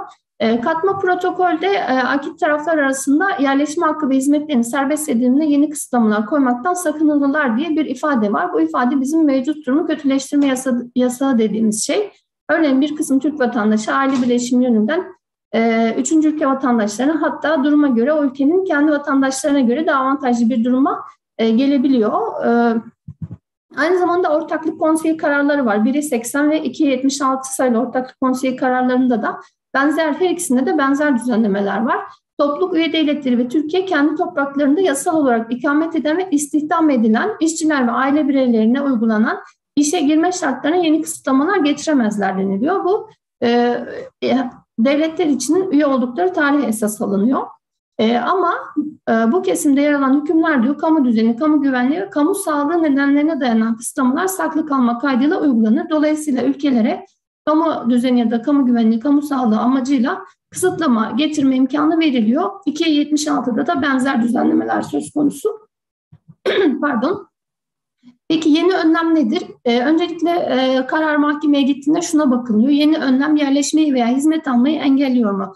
Bu sorunun cevabı evetse yeni bir kısıtlama mı? Yani önceden olan bu e, bahsettiğim tarihten üyelerin, e, ülkelerin üye olduğu tarihten ya da katma protokolün imza tarihinden önceki bir düzenleme mi? Buna bakılıyor. Evetse o zaman şuna bakılıyor. Eğer bu uygulama haklı mı? Yani bu şu demek. Eğer e, hükümet bu uygulamanın haklı olduğunu açıklayabilirse, kamu sağlığı, kamu güvenliği e, nedeniyle bu uygulama haklıdır, bunu açıklayabilirse aslında kötüleştirme yasağı kapsamına girmiyor. Ama bu uygulama haklı değilse, evet uygulama haksız diyorsa mahkeme o zaman e, katma protokol ihlal edilmiş oluyor ve e, kötüleştirme e, yasağı kapsamına giriyor. E, Türk işçiler açısından baktığımızda bu genellikle istihdamla bağlantılı çalışma izni. E, buna ilişkin daha önceden e, alınan bazı e, divanın kararları var. Örneğin Şahin kararında 1'e 80 sayılı ortaklık konseyi kararı yürürlüğe girme tarihinden sonra oturma iznine ilişkin olarak e, orantısız miktarda bir idari harç e, ödemesi öngörülmüş. E, bu da yeni kısıtlama yasağı kapsamında kötüleştirme uygulaması olarak reddedilmiş. Bunun dışında Hollanda'nın, Hollanda hükümetinin temsilciler meclisi için hazırlanan bir hukuki analiz var. Çünkü bu 2011 yılından bu döneme kadar uygulanmayan düzenleme şimdi uygulandığı için bunu gerekçelendirmeleri gerekiyor. E, düzenlemede bu notta hukuki analizde şunlar geçiyor. Adalet Divanı 2013'ten itibaren verdiği kararlarda üye devletlere yeni kısıtlamanın kamu düzeni, kamu güvenliği, kamu sağlığı, kamu yararına ilişkin ağır basan sebepler temelinde orantılık ilkesine uygun olması gerektiğini de vurgu yapıyor diyor. Yani şu demek eğer biz e, bu sebeplerle bir e, uygulama yaptığımızda orantılık ilkesine uygun bir önlem alıyorsak bu kabul edilebilir anlamına gelecek. E, Hollanda İlk Derece Mahkemesi'nin 2019 yılında verdiği bir karar var. E, bu kararda dil ve uyum sınavının iltica başvurusuyla gelenlere uygulanmaması için bir gerekçe olmadığı na karar veriliyor ve 1 Mayıs 2020 itibariyle iltica başvurusuyla giden Türkler ve aileler için bu zaten uygulanıyor. Dolayısıyla 1 Ocak 2022'den itibaren de uzun dönemli diğer e, göçmen Türkler için de gidecek e, Türkler ve aileler için de bu uygulanabilir deniliyor. Bu basın açıklamasından aldım ben bunu 18 Kasım 2021 yani yeni bir e, açıklama ama yine dediğim gibi yıl sonuna kadar bir değişiklik olur mu bunu bilmiyorum. Hukuk analizde e, yön kararına atıf yapılıyor ve yeni kasıtlamanın ne, nasıl hukukileştirilebileceği gerekçelendiriliyor aslında. E, doğan kararı aile birleşimi kapsamında yine verilen bir karar. E, ve bu kararda eşlere yeni kısıtlama getirilmesi ulusal, ulusal hukuk kuralının e katma protokoldeki e, maddenin ulusal hukukun önüne geçeceği belirtilmiş. Yine buna benzer genç kararı var. E, çocuğun Danimarka entegrasyonu sağlayacak, hali hazırda kurulmuş ya da kurulacak gelecek e, ihtimal üzerinden Danimarka ile yeterli bağ kurulması ve Türk işçisinin daimi oturma izni almasının üzerinden iki yıldan fazla geçtikten sonra aile birleşim başvurusunun kabul edilemeyeceğini hükmetmiş Danimarka ama söz konusu düzenlemede yine 1'e 80 sayılı karar kapsamında yeni kısıtlama teşkil ettiği için e, kötüleştirme olarak e, tanımlanmış. E, Naime Doğan kararı var. Naime Doğan e, Almanya'da yaşayan eşi nedeniyle aile birleşimi talep ediyor. E, temel düzeyde e, dil sınavını geçmesi isteniyor aslında. Burada mahkeme karara bakarken yeni kısıtlama oluşturuyor mu, meşru bir amaç veya orantılık ilkesine uygun mu diye bakıyor. Dil testi katma protokol yürürlüğe girdikten girdiği tarihte yok. Sonradan gelen bir uygulama olduğu için yeni sınırlama olarak kabul ediliyor. Ama aile birleşimini güçleştireceği kabul ediliyor. Bu diyor kamu yararıyla açıklanabilir ama kamu yararından ağır basan bir sebep olması için e, e, amaçla e, orantılı olması gerekiyor diyor. E, Almanca bilgisi genellikle e, o dönemde zorla e, işte Türkiye'den bizim ithal gelin dediğimiz zorla evliliklerin önlenmesi ve entegrasyon artırılması amacıyla e, Alman hükümeti tarafından e, ya da Alman mahkemesi tarafından e, açıklanıyor. Ama e, bu da diyor e, geçerli bir sebep olamaz çünkü her olayı yani bu evlilik zorla yapılan bir evlilik miydi değil miydi ya da entegrasyonu artırmayı sağlar mı sağlamaz mı her olayı kendi içinde değerlendirmek gerekir diyor. Buna benzer bir karar, bu da Hollanda hükümetinin atıf yaptığı bir, bir karar aslında. Yön kararı, yeni bir karar 2018 yılında. Yön kararında burada e, Alman ikamet yasasındaki e, sınırları kontrol etmek e, maddesine atıf yapılıyor ve e, eşlerin birleşiminde e, yabancı eşe ikamet izni verilebilir ancak diyor eş yaban e, temel düzeyde Almanca iletişim kurduğunu belir, e, ispatlayabilmesi gerekir diyor. Ama eşin e, bir rahatsızlığı varsa, mental, psikolojik bir engellilik durumu varsa e, bu koşul aranmaz diyor. E, buradaki nefiye yönün kararında aslında iki tane bileşen var. E, nefiye yön 2007 ile 2011 yıllar arasında e, defalarca e, izin alabilmek için aile birleşimi kapsamında talepte bulunuyor. E, ama e, e, kabul edilmiyor. Daha sonra e, başka bir ülkeye giderek o ülke üzerinden e, Almanya yani Hollanda'ya gidiyor. Hollanda üstünden Almanya'ya geçiyor. Burada dil bilmediği ve ülkeye yasal olarak girmediğini belirterek başvuru reddediliyor. Aslında buradaki şey aile birleşimi için vize yükümlülüğü var mı yok mu bu tartışma. Çünkü vizeyi Almanya'dan almamış, Hollanda'dan almış, Hollanda üstünden Almanya'ya gitmiş.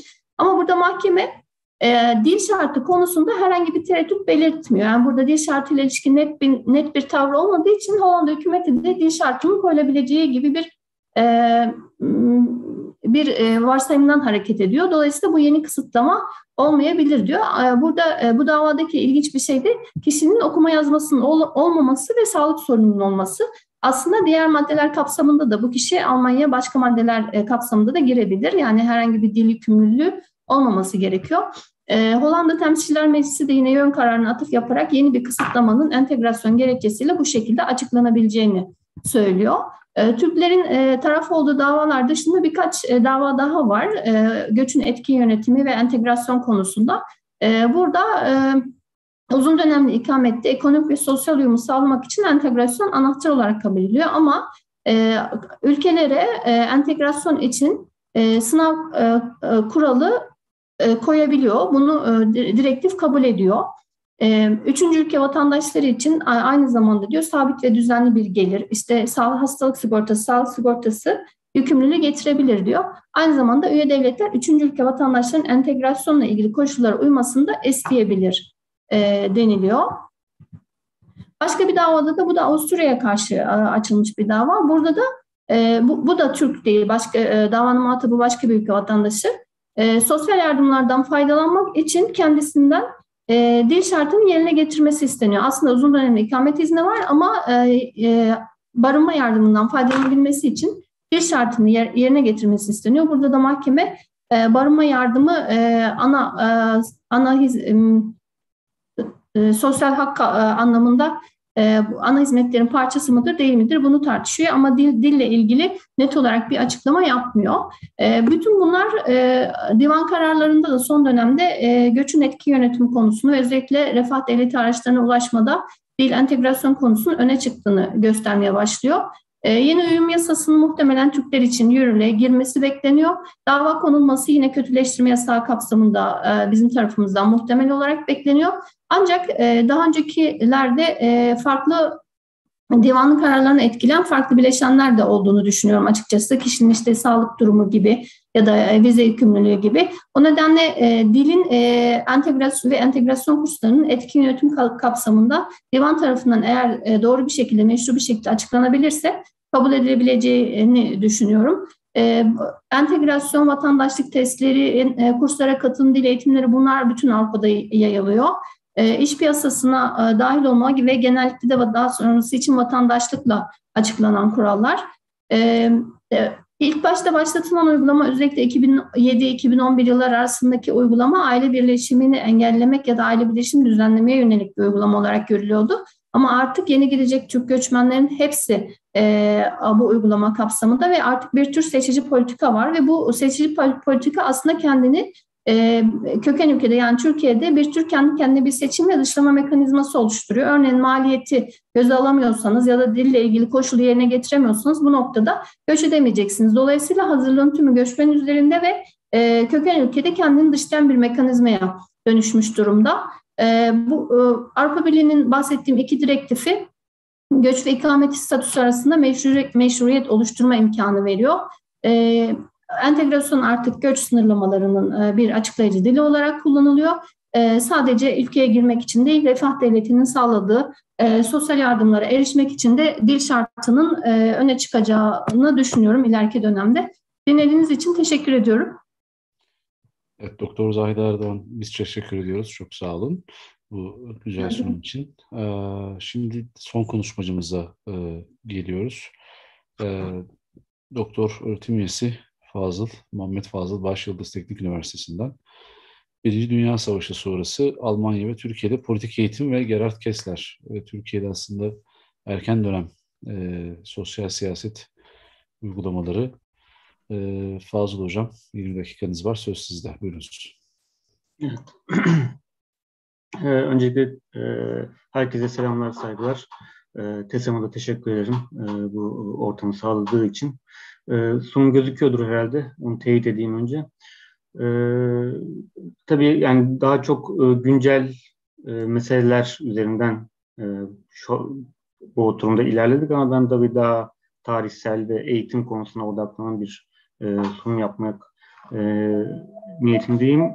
E, konumuzda Birinci Dünya Savaşı sonrasında Almanya ve Türkiye'de politik eğitim ve Gerhard Keser. Tabii eğitim meselesi hani özellikle Avrupa ile Türkiye arasındaki ilişkiler söz konusu olduğunda e, hani en başta gelen meselelerden, süreçlerden bir tanesi. Yani zaten hani Türk modernleşmesi sürecine ya da Osmanlı Türk modernleşmesi sürecine baktığımızda da hani ilk e, bu modernleşmenin yaşanmaya başlandığı alanların e, ilk başlıklarından bir tanesinin eğitim olduğunu görüyoruz. Yani askeriye de zaten hani klasik olarak hepimizin e, modernleşme tarihine dair okumalarda gördüğü üzere hani askeriye daha sonra da bununla bağlantılı olarak hemen askeri eğitim ya da tıp eğitimi vesaire gibi sahalarda e, Avrupa ile Türkiye arasındaki ilişkilerin ya da o zaman o dönem o dönemde Osmanlı arasındaki ilişkilerin çok canlı bir şekilde geliştirildiğini görüyoruz. Fakat tabii hani bunun başka bir eğitimin daha kitlelere yayılması, bunun kitlelere doğru e, kaydırılması ya da içeriğinin belli yönlerden Avrupa ile Türkiye arasındaki ilişkilerden edinilenler çerçevesinde şekillendirilmesi ayrı bir şey. Diyelim ki e, sonuçta Avrupa ile Türkiye de Osmanlı arasındaki ilişkiler başladıktan sonra işte 1839'da işte Tanzimat Fermanı ilan edildiğinde ortaya bir zihniyet dönüşümü ne dair bir görüntü çıkıyor esasında. İşte Osmanlı Devleti diyor ki işte biz e, artık tebaamızla ilişkimizi şu şekilde göreceğiz vesaire diyor. Şimdi bunu söylemek belli bir zihniyet dönüşümüne işaret ediyor. Fakat daha sonradan bu zihniyet dönüşümünü kitlelere doğru yaymak, bunları onların da bir parçası haline gelmek ya da kitleleri ya da toplumu bu çerçevede belli bir yere oturtmaya çalışmak, toplum ile devletin arasındaki ilişkiyi belli bir yönde yeniden tesis etmeye çalışmak farklı bir anlama geliyor. Yani tek başına modernleşme e, bunun Türkiye'ye aktarıldığı ya da Osmanlı toplumuna aktarıldığı anlamına gelmiyor. Devlet eliyle özellikle ya da aydınlar eliyle bunun da topluma kanalize edilmesi gerekiyor. İşte burada bizim politik eğitim dediğimiz mevzu ortaya çıkıyor. Yani bu da sadece bir tabii ki bir eğitim politikasından bahsetmiyoruz. Çünkü yani eğitim politikası yani eğitimin dizayn edilmesi ya da eğitimime dair e, anlayışın ne olacağına dair bir yaklaşım sergilemekle birlikte o eğitimin ne içeriğinin ne olacağını da ayrıca bir politik yönden belirleme arzusu politik eğitim dediğimiz şeyi gündemimize getiriyor. Yani burada da biraz politik eğitimi tabii tanımlamamız gerekiyor açıkçası. Şimdi politik eğitim içerik itibariyle hani bir Türkiye'de çok yaygın olarak kullanılan bir terim değil esasında. Yani biz e, vatandaşlık eğitimi ya da yetişkin eğitimi gibi farklı başlıklar da kullanabiliyoruz.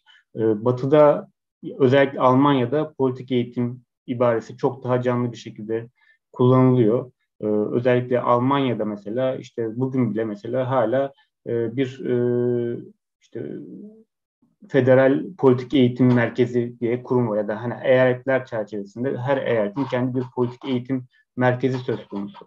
Bütün bunlar esasında tabii belli bir sürecin yansıması. Çünkü Almanya'da yani yıllar yani geçmişten bugüne kadar sürekli olarak hani topluma yönelik olarak bir e, politik eğitim verme ihtiyacı ortaya çıkmış durumda. Özellikle 1945 sonrasında savaştan yenik ayrılmanın da beraber işte Almanya'da yeniden bir demokrasinin tesis edilme e, çabaları çerçevesinde e, politik eğitim önemli bir konumda olmuş. Yani çünkü demokrasinin topluma kazandırılması, hani Nazi tecrübesinden sonra yani toplumun zihniyetinin e, şekillendirilmesi noktasında önemli bir noktada olmuş. Bugün de hala esasında diyelim ki işte mültecilerle ilgili konularda vesaire yani sürekli olarak bir politik eğitim verme ihtiyacı gündeme geliyor. Türkiye açısından da çok e, farklı değil esasında. Çünkü bizim bizim de yani politik eğitim bir yanıyla tanık, tanıdık oldu, olan bir şey bizim için. Hani hala üniversitelerde hani Atatürk ilkeleri ve inkılap tarihi diye bir ders varsa ya da işte liselerde benzer dersler varsa ya da tarih derslerinin, coğrafya derslerinin içeriğinde e, insanların nasıl davranması gerektiği ya da vatandaşların nasıl davranması gerektiği ya da bizim tarihimizin ne olduğuna dair bir takım bilgiler aktarılıyorsa bunların hepsi bir yanıyla politik eğitimin içeriğine giriyor. Tabii ki politik eğitim kavramı biraz geniş bir anlamada karşılık gelebiliyor. Hani bireyin toplumsallaşması ya da politik toplumsallaşma, vatandaşlık eğitimi ya da yeri geldiği zaman hani bir siyasi partinin kendi mensuplarına yönelik geliştirdiği eğitimler, bir ideoloji çerçevesinde yapılan eğitimler hepsi politik eğitim anlamına gelebiliyor esasında. Fakat daha özelde politik eğitim biraz bireyin içinde yaşadığı toplumun özelde siyasi rejime, daha genel olarak da işte, e, siyasi ilişki süreçlerine dair bilinçlenmesi ya da bilinçlendirilmesi olarak e, tanımlamak gerekiyor bu noktada.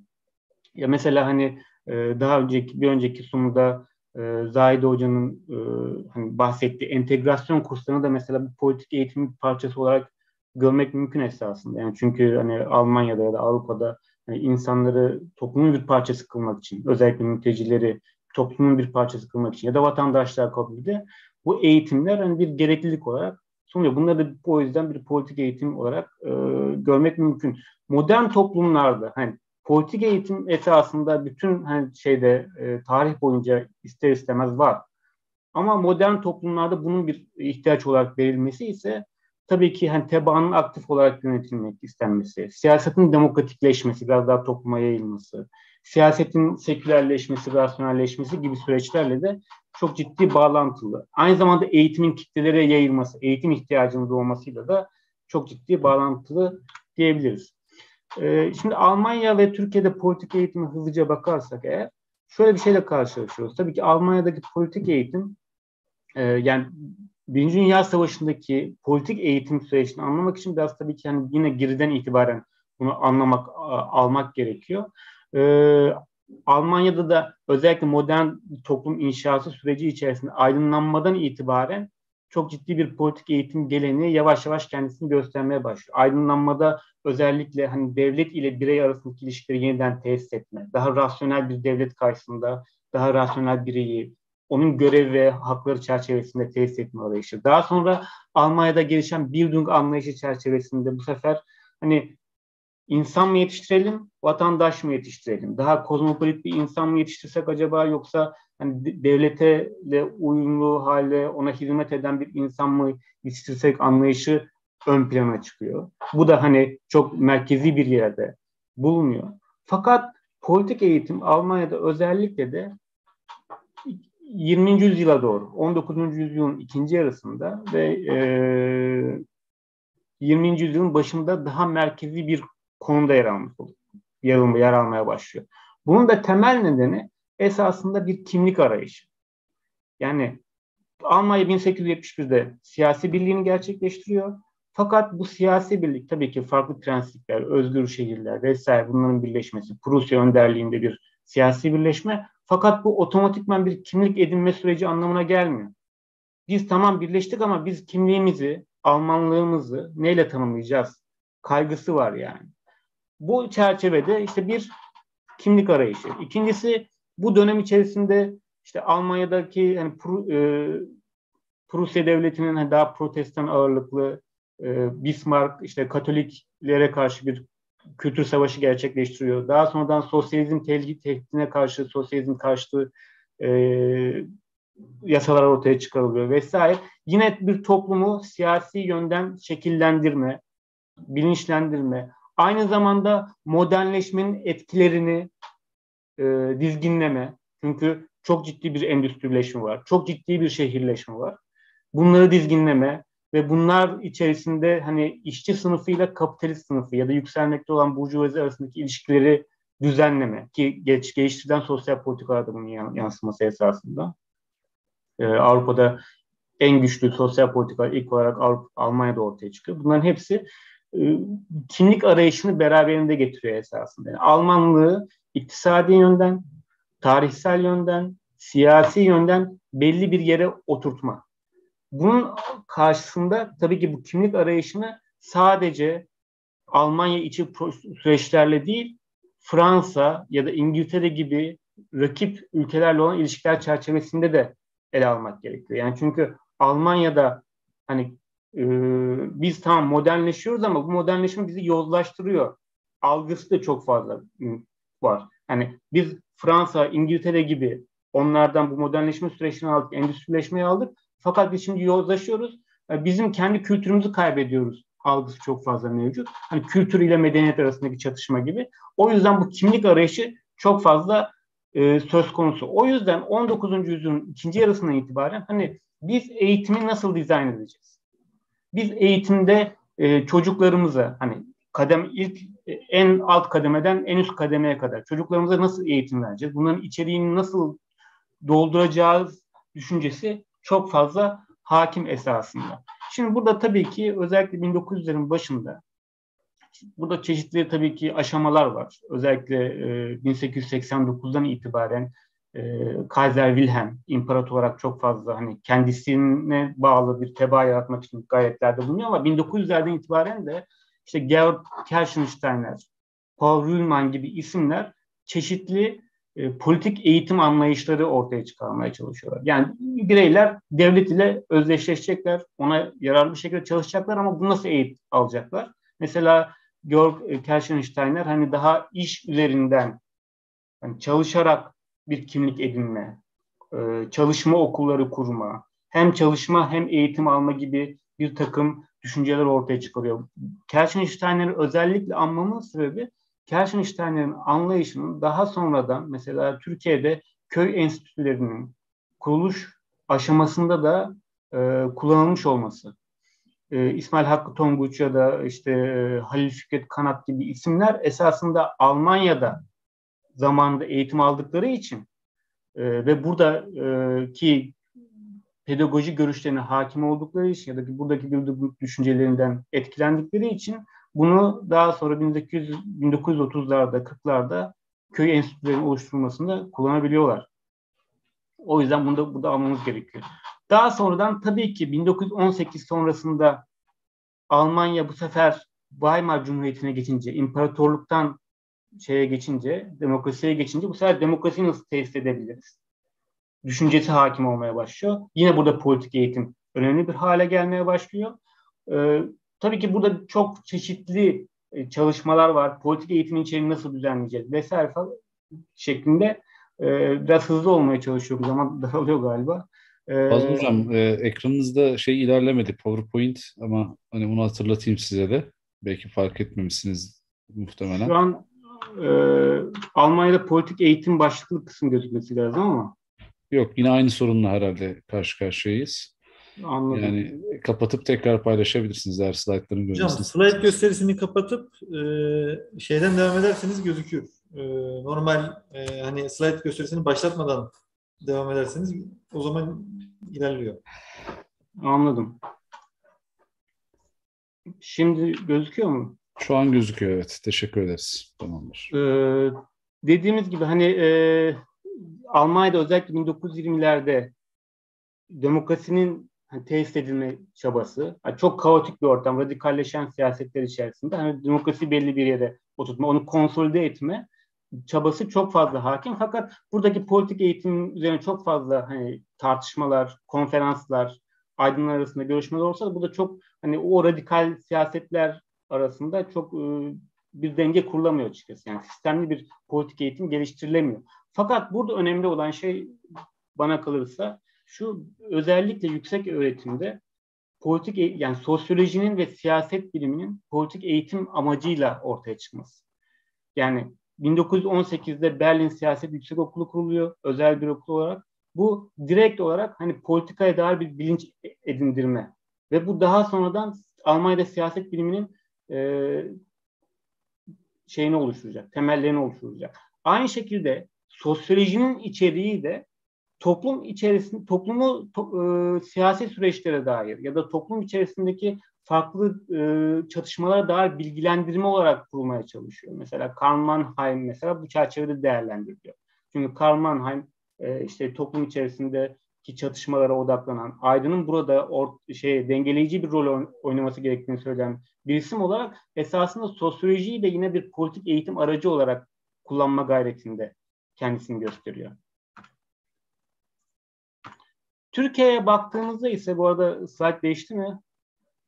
Tamam. E, Türkiye'de baktığımızda ise Türkiye'de de e, ikinci meşrutiyet döneminden itibaren dediğimiz gibi esasında politik eğitim ihtiyacı daha önce de var. Fakat sistemli hale gelmesi ikinci meşrutiyet döneminde. Yani şimdi Yahya Na, Namık Kemal vatan, millet gibi kavramları ortaya attığında zaten hani gazeteler aracılığıyla bir politik eğitim başlatmış oluyor esasında. Fakat hani eğitim müfredatı olarak baktığımızda, okullara baktığımızda bunu biz daha çok ikinci meşrutiyet, daha çocuklardan itibaren kademeli olarak yükselen bir sistemli eğitim olarak baktığımızda ikinci meşrutiyet döneminden itibaren görüyoruz. Burada malumat medeniye derslerinin ortaya konması, yeni bir insan yaratma, yeni bir vatandaş yaratma ihtiyacı. Daha sonradan Cumhuriyet döneminde de bu malumat medeniye, bir sefer malumat vataniye ya da yurt bilgisi derslerine doğru dönüşüyor. Tabii ki Cumhuriyete dönüşte bir takım e, şey farklılıkları var. Yani sonuçta Cumhuriyetle birlikte yeni bir rejim ortaya çıkmış. Bu rejimin kendisini ile toplum arasında yeni bir ilişki kurmak istemesi vesaire e, cum, şey e, meşrutiyet dönemiyle Cumhuriyet dönemi arasında bir takım farkların ortaya çıkmasına sebep oluyor. Fakat hani burada bir yine de süreklilik olduğunu altını çizmemiz, çizmemiz gerekiyor. Modernleşme yönünde, sekülerleşme yönünde, yeni bir bireyin, aktif bir bireyin yaratılması ama aynı zamanda devlet haklara sahip olan ama bu haklar sebebiyle de devlete borçlu olan ve bu borç sebebiyle görevlerini yerine getirmek zorunda olan bir vatandaşın yaratılmak istenmesi söz konusu. Tabii bunun da hani o dönemde hani köylüler yüzde 80-85'ini oluşturuyor toplumun. Hani ne kadar köylülere ulaşıyor, ne kadar şehirlere ulaşıyor. Köylülere yönelik olarak ayrı bir e, politik eğitim geliştirme çabalarında söz konusu olduğunu görüyoruz Cumhuriyet döneminde. Daha sonradan dediğimiz gibi köy enstitüleri bunun da bir yansıması olacak.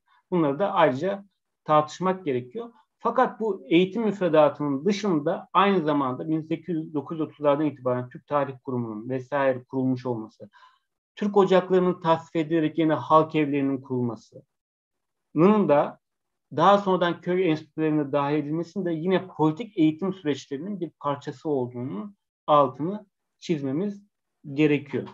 Ee, Burada eklemek istediğim bir noktada tabii ki yani daha konumuzla bağlantılı olmak açısından hani Almanya'da sosyolojinin bir politik eğitim aracılığı e, aracısı olarak kullanılmak istenmesi gibi Ziya Gökalp'in de sosyolojisinin yine bir politik eğitim içerdiğinin altını çizmek gerekiyor. Çünkü Ziya Gökalp'in sosyolojisi de direkt olarak hani e, milleti tanımlıyor e, milletin bu yüzyıl içerisinde olması gerektiği yeri konumluyor. Bireyi bu milletin içerisinde tanımlıyor. Sürekli olarak bize esasında bir takım e, pozisyonları vaat ediyor. O yüzden sosyoloji sadece bir bilim değil bir politik eğitim aracı olarak karşımıza çıkıyor. Bunun da altın yani tıpkı Almanya'da olduğu gibi tabii ki farklı e, pozisyonları ihtiva ediyor. Almanya'da daha dengeleyici, işte işçiler, kapitalistler vesaire gibi çatışmalar ortasında daha dengeleyici bir pozisyondayken Türkiye'de direkt olarak topluma bir e, politik anlayışın aktarılması amacına hizmet ediyor. Fakat yine de Almanya ile Türkiye arasında bir kimlik arayışı çerçevesinde bir ortaklaşma olduğunu altını çizebiliriz. Şimdi e, buradan hızlıca Gerhard Kessler'e geleyim. Şimdi Kessler 1933'te Türkiye'ye gelen, e, Almanya'dan kaçmak durumunda kalan Nazi tecrübesi sebebiyle kaçmak durumunda kalan ve Türkiye'deki üniversite reformu sayesinde de Türkiye'ye gelme fırsatı bulan isimlerden bir tanesi. E, Gerhard Kessler Almanya'da daha çok sosyal politikacı fakat Türkiye'de hem sosyal politika hem sosyoloji anlamında ders vermiş birisi. Gerhard Kessler'in bizim konumuz açısından, politik eğitim açısından önemi Gerhard Kessler'in derslerinin niyet edilmemiş bir politik eğitim içerdiğini ben düşünüyorum. Niyet edilmemiş sebebi şu. Çünkü Türkiye Cumhuriyeti gel Kessler'i buraya davet ederken gel sen bize bir politik eğitim ver. Vatandaşlarımızı şu yönde e, bilinçlendir demiyor esasında siyasi yönden. Zaten bu hizmeti devletin kendisi kendi eğitim süreçleriyle karşılıyor esasında. Kessler'den beklediği bilim olarak sosyal politikayı ve sosyolojiyi Türkiye'ye aktarması. Fakat Kessler'in sosyolojisine baktığımızda Kessler'in sosyal politika çalışmalarına baktığımızda bunun dolaylı olarak bir teorik eğitim de içerdiğini görüyoruz. Nasıl bir politik eğitim? Kessler toplumu bireyden itibaren kuruluşuna baktığında diyor ki birey topluma akıl yoluyla girer. Akıl yoluyla bunu dizayn eder. E, bir takım e, ilişkiler oluşturur. Fakat bu ilişkilerin nihai noktası bir halktır, devlettir. Ve esasında millet ve milletler arası ilişkilere baktığımızda en optimum ilişkiler de bu milletler düzeyindeki ilişkilerde olur. Yani bireyin toplumsallaşmasının tabii sonucu, akıl yoluyla toplumsallaşmasının tabii sonucu en optimum derecesi bu arada devlettir. Birey bu noktada kendisinin hürriyetini korumalı. Fakat aynı zamanda e, kolektif hayata da adapte olmalıdır diye özetleyebileceğimiz bir e, politik eğitim de içeriyor. Şimdi bu esasında bir yandan Türkiye'deki politik eğitim ihtiyacına örtüşüyor. Çünkü Kessler'le so, e, Ziya Gökalp'in sosyolojileri ne kadar ayrı olsa bile milletin e, ön plana çıkarılması, millet içerisinde bireyin belli bir yere konumlandırılması vesaire gibi noktalarda örtüşmeler söz konusu. Fakat diğer taraftan da Kessler'in direkt olarak bu politik eğitimi Türkiye'ye özel olarak dizayn etmediğinde altını çizmemiz gerekiyor. Kessler'in yazılarına baktığımızda Kessler'in her zaman için Türkiye ileriki 10 yıl içerisinde, 20 yıl içerisinde sanayileşecek, Türkiye içerisinde bir işçi sınıfı ortaya çıkacak, bir kapitalist sınıfı ortaya çıkacak. Fakat bunlar arasındaki çatışmalar Avrupa'daki gibi olmamalı. Avrupa'da çok ciddi çalışmalar var, Türkiye'de olmasın. O yüzden Kessler'in politik eğitimin hep geleceğe odaklı olduğunun da bu şekilde altını çizmemiz gerekiyor diye düşünüyorum. Ee, sanırım sürem de bitti. Ee, burada noktalayayım. Teşekkür ederim. Çok teşekkürler Fazıl Hocam. Ee, süre konusundaki hassasiyetiniz için de. Ee, evet değerli katılımcılar, e, değerli izleyiciler, e, oturumumuzun sunumlarını tamamlamış olduk. Aslında birbirini e, önemli ölçüde tamamlayan, birbirleri ilişkili daha doğrusu öyle söyleyelim. E, Birçok e, başlığımız vardı. Şimdi e, hem bir taraftan e, merkeze bakan sorular varsa onları iletmesini rica ediyorum e, şu anda TESAM'a.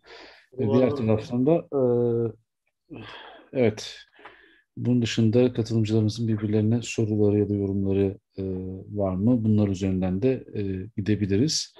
E, oturumun sonlanması için bir 15 dakikamız var.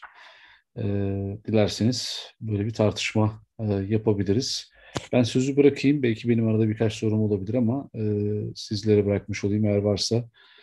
E, ben. Tabii buyurun. E, evet. Aslında yani şöyle soracağım soru bütün hocalarımızın alanına giriyor. Hepsinin konusuyla ilgili zaten çok e, bütünleşik bir oturum oldu. Hı hı. Şunu sormak istiyorum. E, hocam şimdi baktığımız zaman Avrupa'nın hani nüfus e, hani artış hızlarına yani önümüzdeki belki 100 yıl içerisinde Avrupa diye bir şey kalmayacak. Yani şu an bu konuşuluyor ve bir yandan da Avrupa'da göçmenlere karşı hani ciddi bir e, hani karşıtlık söz konusu. Yani bu nedenle e, ki hani entegrasyon politikalarda belki bunun bir şey olabilir ama yani bu göçmenlere karşı Avrupa'nın bir Avrupalılaştırma projesi Avrupa açısından hani faydalı olur mu yoksa e, hani Avrupa yani buna bu derece karşı olmaya devam ettiği sürece e, hani geleceğini nasıl şekillendiriyor, nasıl düşünüyor gibi bir soru sormak istiyorum. E, teşekkürler. Çok geniş, kapsamlı bir soru ama zannediyorum e, hocalarımızın bu konu hakkında kısa kısa yorumlarını alabiliriz.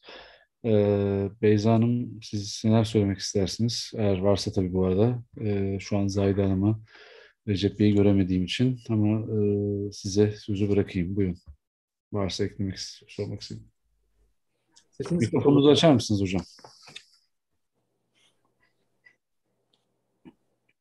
Evet, öncelikle e, oturumdaki sunumlar için çok teşekkür ederim. Sizin de dediğiniz gibi e, birçoğu birbirini tamamlar nitelikteydi. Özellikle Türkiye-AB e, mülteci mütabakatı üzerine olan sunumlar bu mütabakatın hem uluslararası mülteci koruma rejimine aykırılığı, Avrupa hukukuna aykırılığı üzerine yoğunlaşıyordu ve birbirini o anlamda tamamlar nitelikteydi.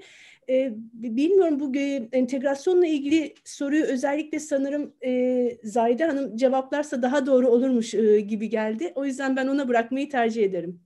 Peki çok teşekkürler. Zahide e, sözü bırakırken ben de şeyi söylemiş olayım aslında hani bu e, yani sınır e, meselesi yani Recep e, Hoca bahsettiği bu teorik bağlamı sonra Yunanistan'ı aslında ve sizin de yaptığınız sunumda aslında meşrulaştırma meselesi e, söylem üzerinden e, çok birbiriyle ilişkili.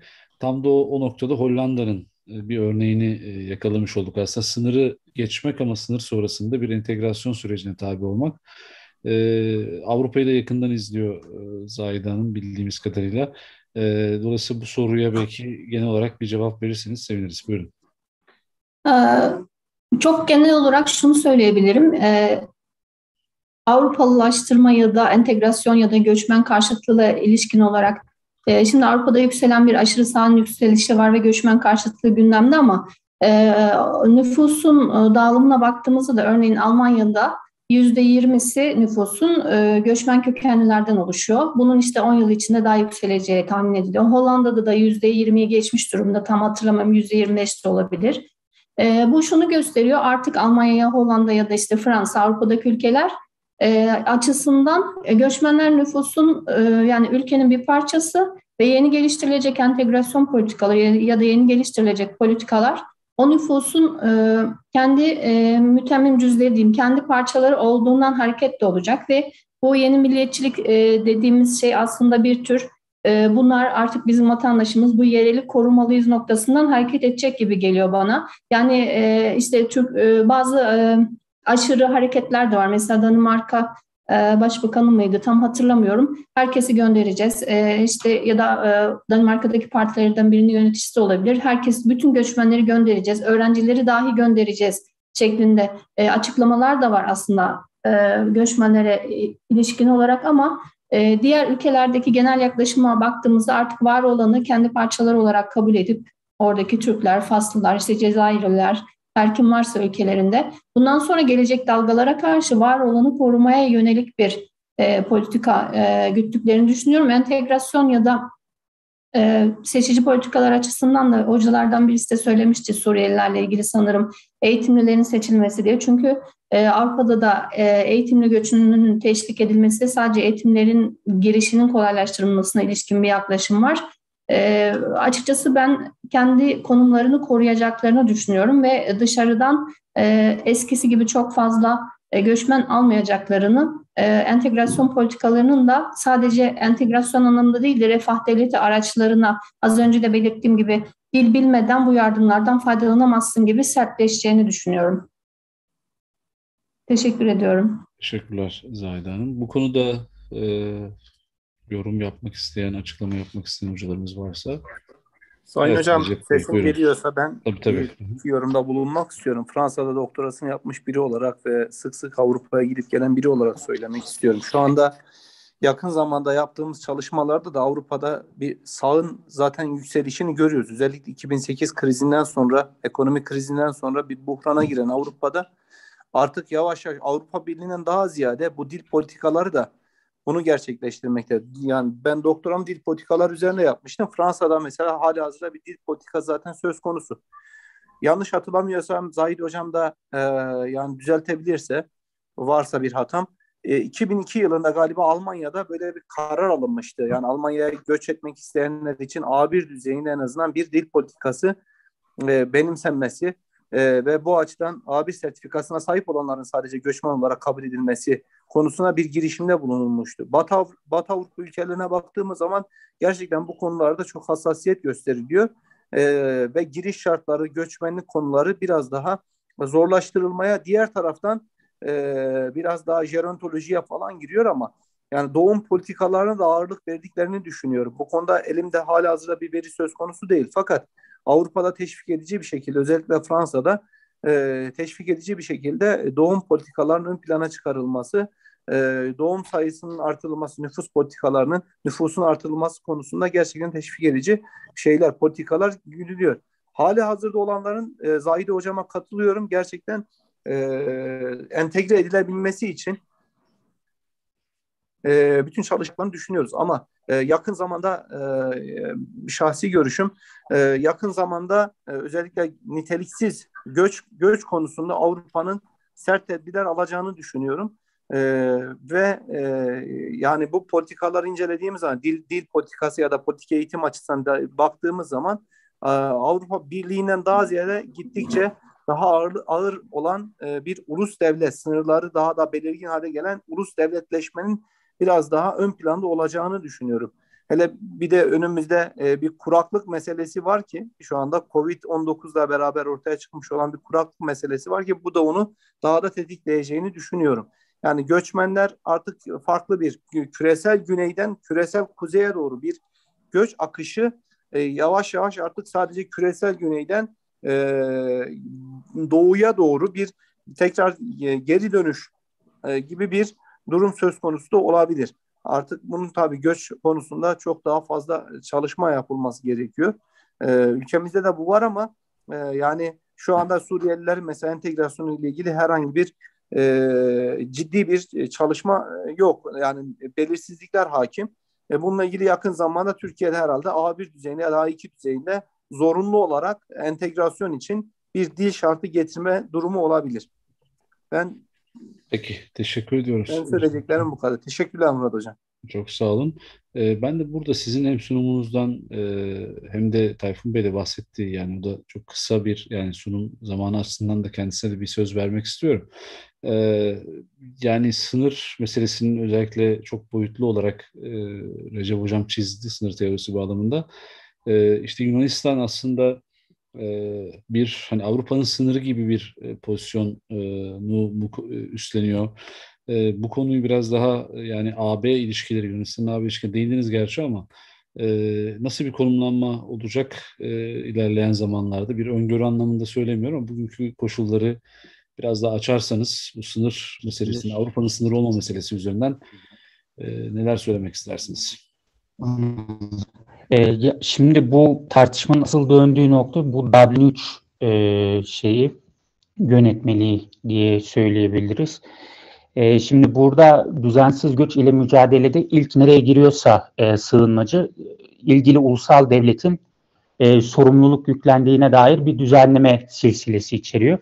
Şimdi özellikle e, doğuya sınırı olan Yunanistan e, Bulgaristan, İtalya, Fransa, güney sınırları açısından değerlendirirsek hep aynı şikayetleri dile getiriyorlar. Yani ortak sorumluluktan bahsediyorsunuz ama coğrafi konum itibariyle ortak sorumluluk e, paylaşmamız mümkün değil diyor. Örneğin çünkü e, yasal yani şöyle diyelim kaçak yollarla ülkeye girişi e, sadece sınır komşuları, sınır ülkelerinde mümkün. Mesela Lüksemburg'a hiçbir şekilde kaçak giremezsiniz. İlla bir yerden geçeceksiniz.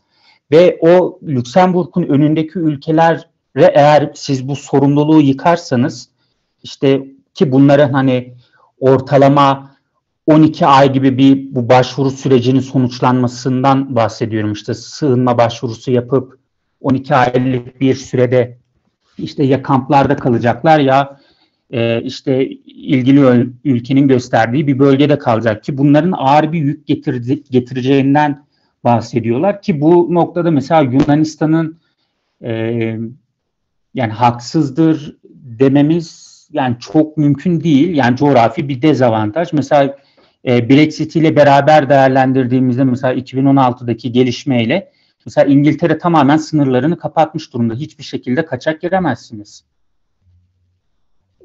O da mesela coğrafi e, avantaj yani coğrafi konumunu avantaj olarak kullanan kullanmayı e, tercih ediyor. Dolayısıyla yani bu ortak e, ortak göç politikaları bağlamında e, işte ilerleyen süreçte yani bunu çok su götüreceği ortada mesela bunu kısa bir süre işte Türkiye ile yapılan e, mütabakat ile aşmaya çalışıyorlar ama nereye kadar? Yani e, çünkü Türkiye'de bu noktada e, işte geri gelenlerin aslında bir e, depolama merkezi haline geliyor. Bunu da mesela Türkiye'deki e, sürecin ne kadar kaldıracağı da aslında tartışma. Yani nereye kadar e, geri kabul anlaşması e, yürürlükte kalır. E, bu da biraz şey e, noktasını oluşturuyor yani Türkiye-AB ilişkileri ya da AB'nin kendi içerisindeki ilişkiler bağlamında sorun yaratacak unsurlardan biri olarak hazırda bekliyor diyebilirim. Ee, çok teşekkürler. Ee, son olarak birkaç dakikamız daha var. Soru var mı diye bakıyorum. YouTube üzerinden sorularımız var hocam ama. Ha, o zaman tabii alalım. Ben de e, yok diye kendi sorularımı e, soruyordum. Ben Varsa alalım. Seslendireyim hocam. Tabii lütfen. E, hocam Barış Eşmeli sormuş. Zahide hocama sormuş. Hollanda'da entegrasyon için ücretsiz çalışma uygulaması Angarya ve zorla çalıştırma yasağına aykırı bir durum değil mi? Bu çalışmanın süresi ne kadar? diye bir soru sormuş. Açıkçası e, çok net olarak süresi hakkında bir bilgim yok ama e, zorla çalıştırma yasağı derken şimdi gönüllü çalışmaları, ücretsiz çalışmadan orada gönüllü çalışmaları kastediyorlar. Yani sosyal sorumluluk gibi düşünün. Gönüllü çalışma olduğu için Angarya yasağı olarak değerlendirmemiz pek mümkün olmaz yasal olarak.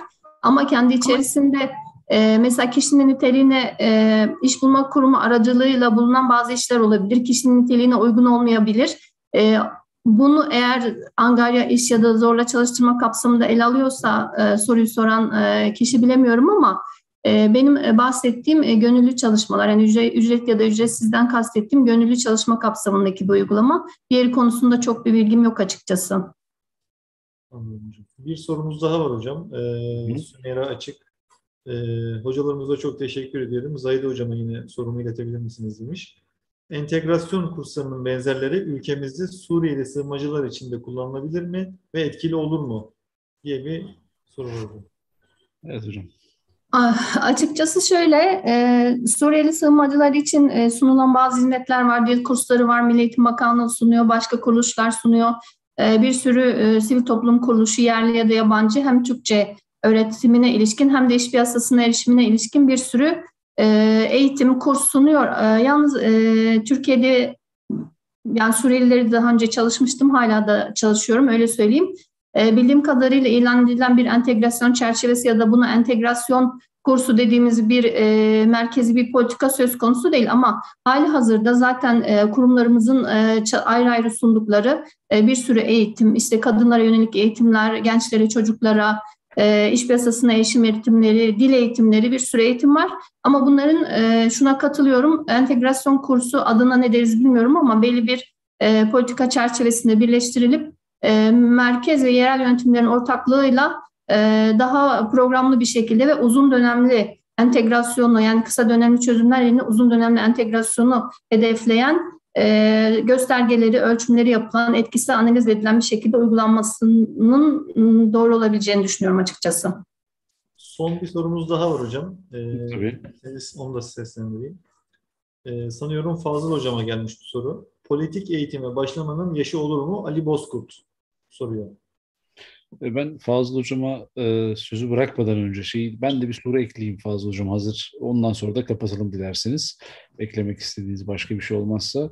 E, şöyle bir şey, Hanım'ın sunduğu e, çalışmada özellikle Hollanda'daki işte e, entegrasyon çalışmasından bahsederken işte çalışma, işte gönüllü çalışma, eğitime katılma ya da kredi alarak eğitim hayatına devam etme gibi hususlar var. Aslında bu e, biraz önce siz de bahsettiniz yani e, işte 20. yüzyılın hemen başında bir takım eğitim yaklaşımları var, politik eğitim yaklaşımları. Çalışarak hani devletin bir unsuru olma vesaire gibi. Yani Avrupa'nın aslında benzer tartışmaları yeniden, siz biraz sunumun girişine değindiniz ama burayı biraz açarak da neler söylemek istersiniz? Yeniden böyle bir süreç mi yaşanıyor? Hani Avrupalılaştırma ya da bir yeni bir vatandaşlık biçimi tanımının üzerinden bir gidiş mi var?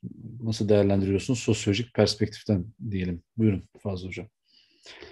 Ee, şimdi öncelikle e, yaş konusuna değinmek gerekirse zaten mahiyet itibariyle politik eğitimin bir e, sınırı yok yani. 7'den 70'e diyebileceğimiz şekilde. Yani çünkü bir yandan siz ilkokula girmiş çocuğa da onu toplumsallaştırma amacıyla ya da devlete adapte etme amacıyla müfredat yoluyla bir takım bilgileri aktarıyorsunuz. Ama diğer taraftan yeri geldiği zaman işte yetişkine hatta ıı, diyelim ki ıı, ülkeye gelmiş 70 yaşındaki hani 7'den 70'e diyoruz ya 70 yaşındaki mülteciye de siz o eğitimi verebiliyorsunuz. Yani çünkü bu bir ihtiyaç doğrultusunda ortaya çıkıyor. Esas mesele şu. Politik eğitimi siz hangi amaçla veriyorsunuz?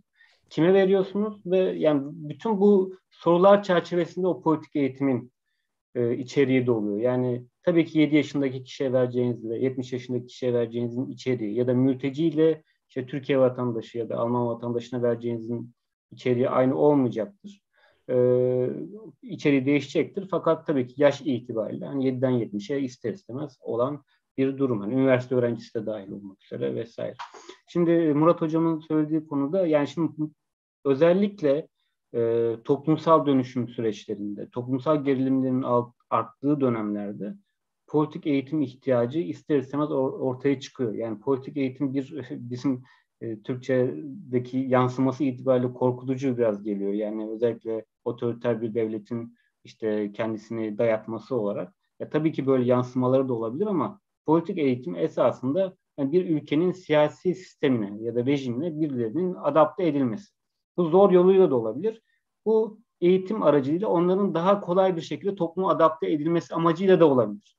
Hı hı. Bu tartışmalar ister istemez o dolayısıyla tekrar ve tekrar gündeme gelecektir. Ee, tabii ki bunun hani çok e, nasıl diyelim e, suistimal edildiği alanlar da oluyor. Özellikle çalışma dediğimiz şey e, yani e, çalışma yoluyla adapte etme meseleleri zamanında işte Türk köy enstitüleri vesaire üzerinden hani çünkü köylüler de mesela buralarda çalışarak e, adapte oluyorlar ama bir yandan da işte hani deminden gelen Zahid Hoca'ya gelen soruda olduğu gibi hani bunlar angarya mı? İşte bunlar hani bedava işçi olarak mı kullanılıyor tartışmaları da var.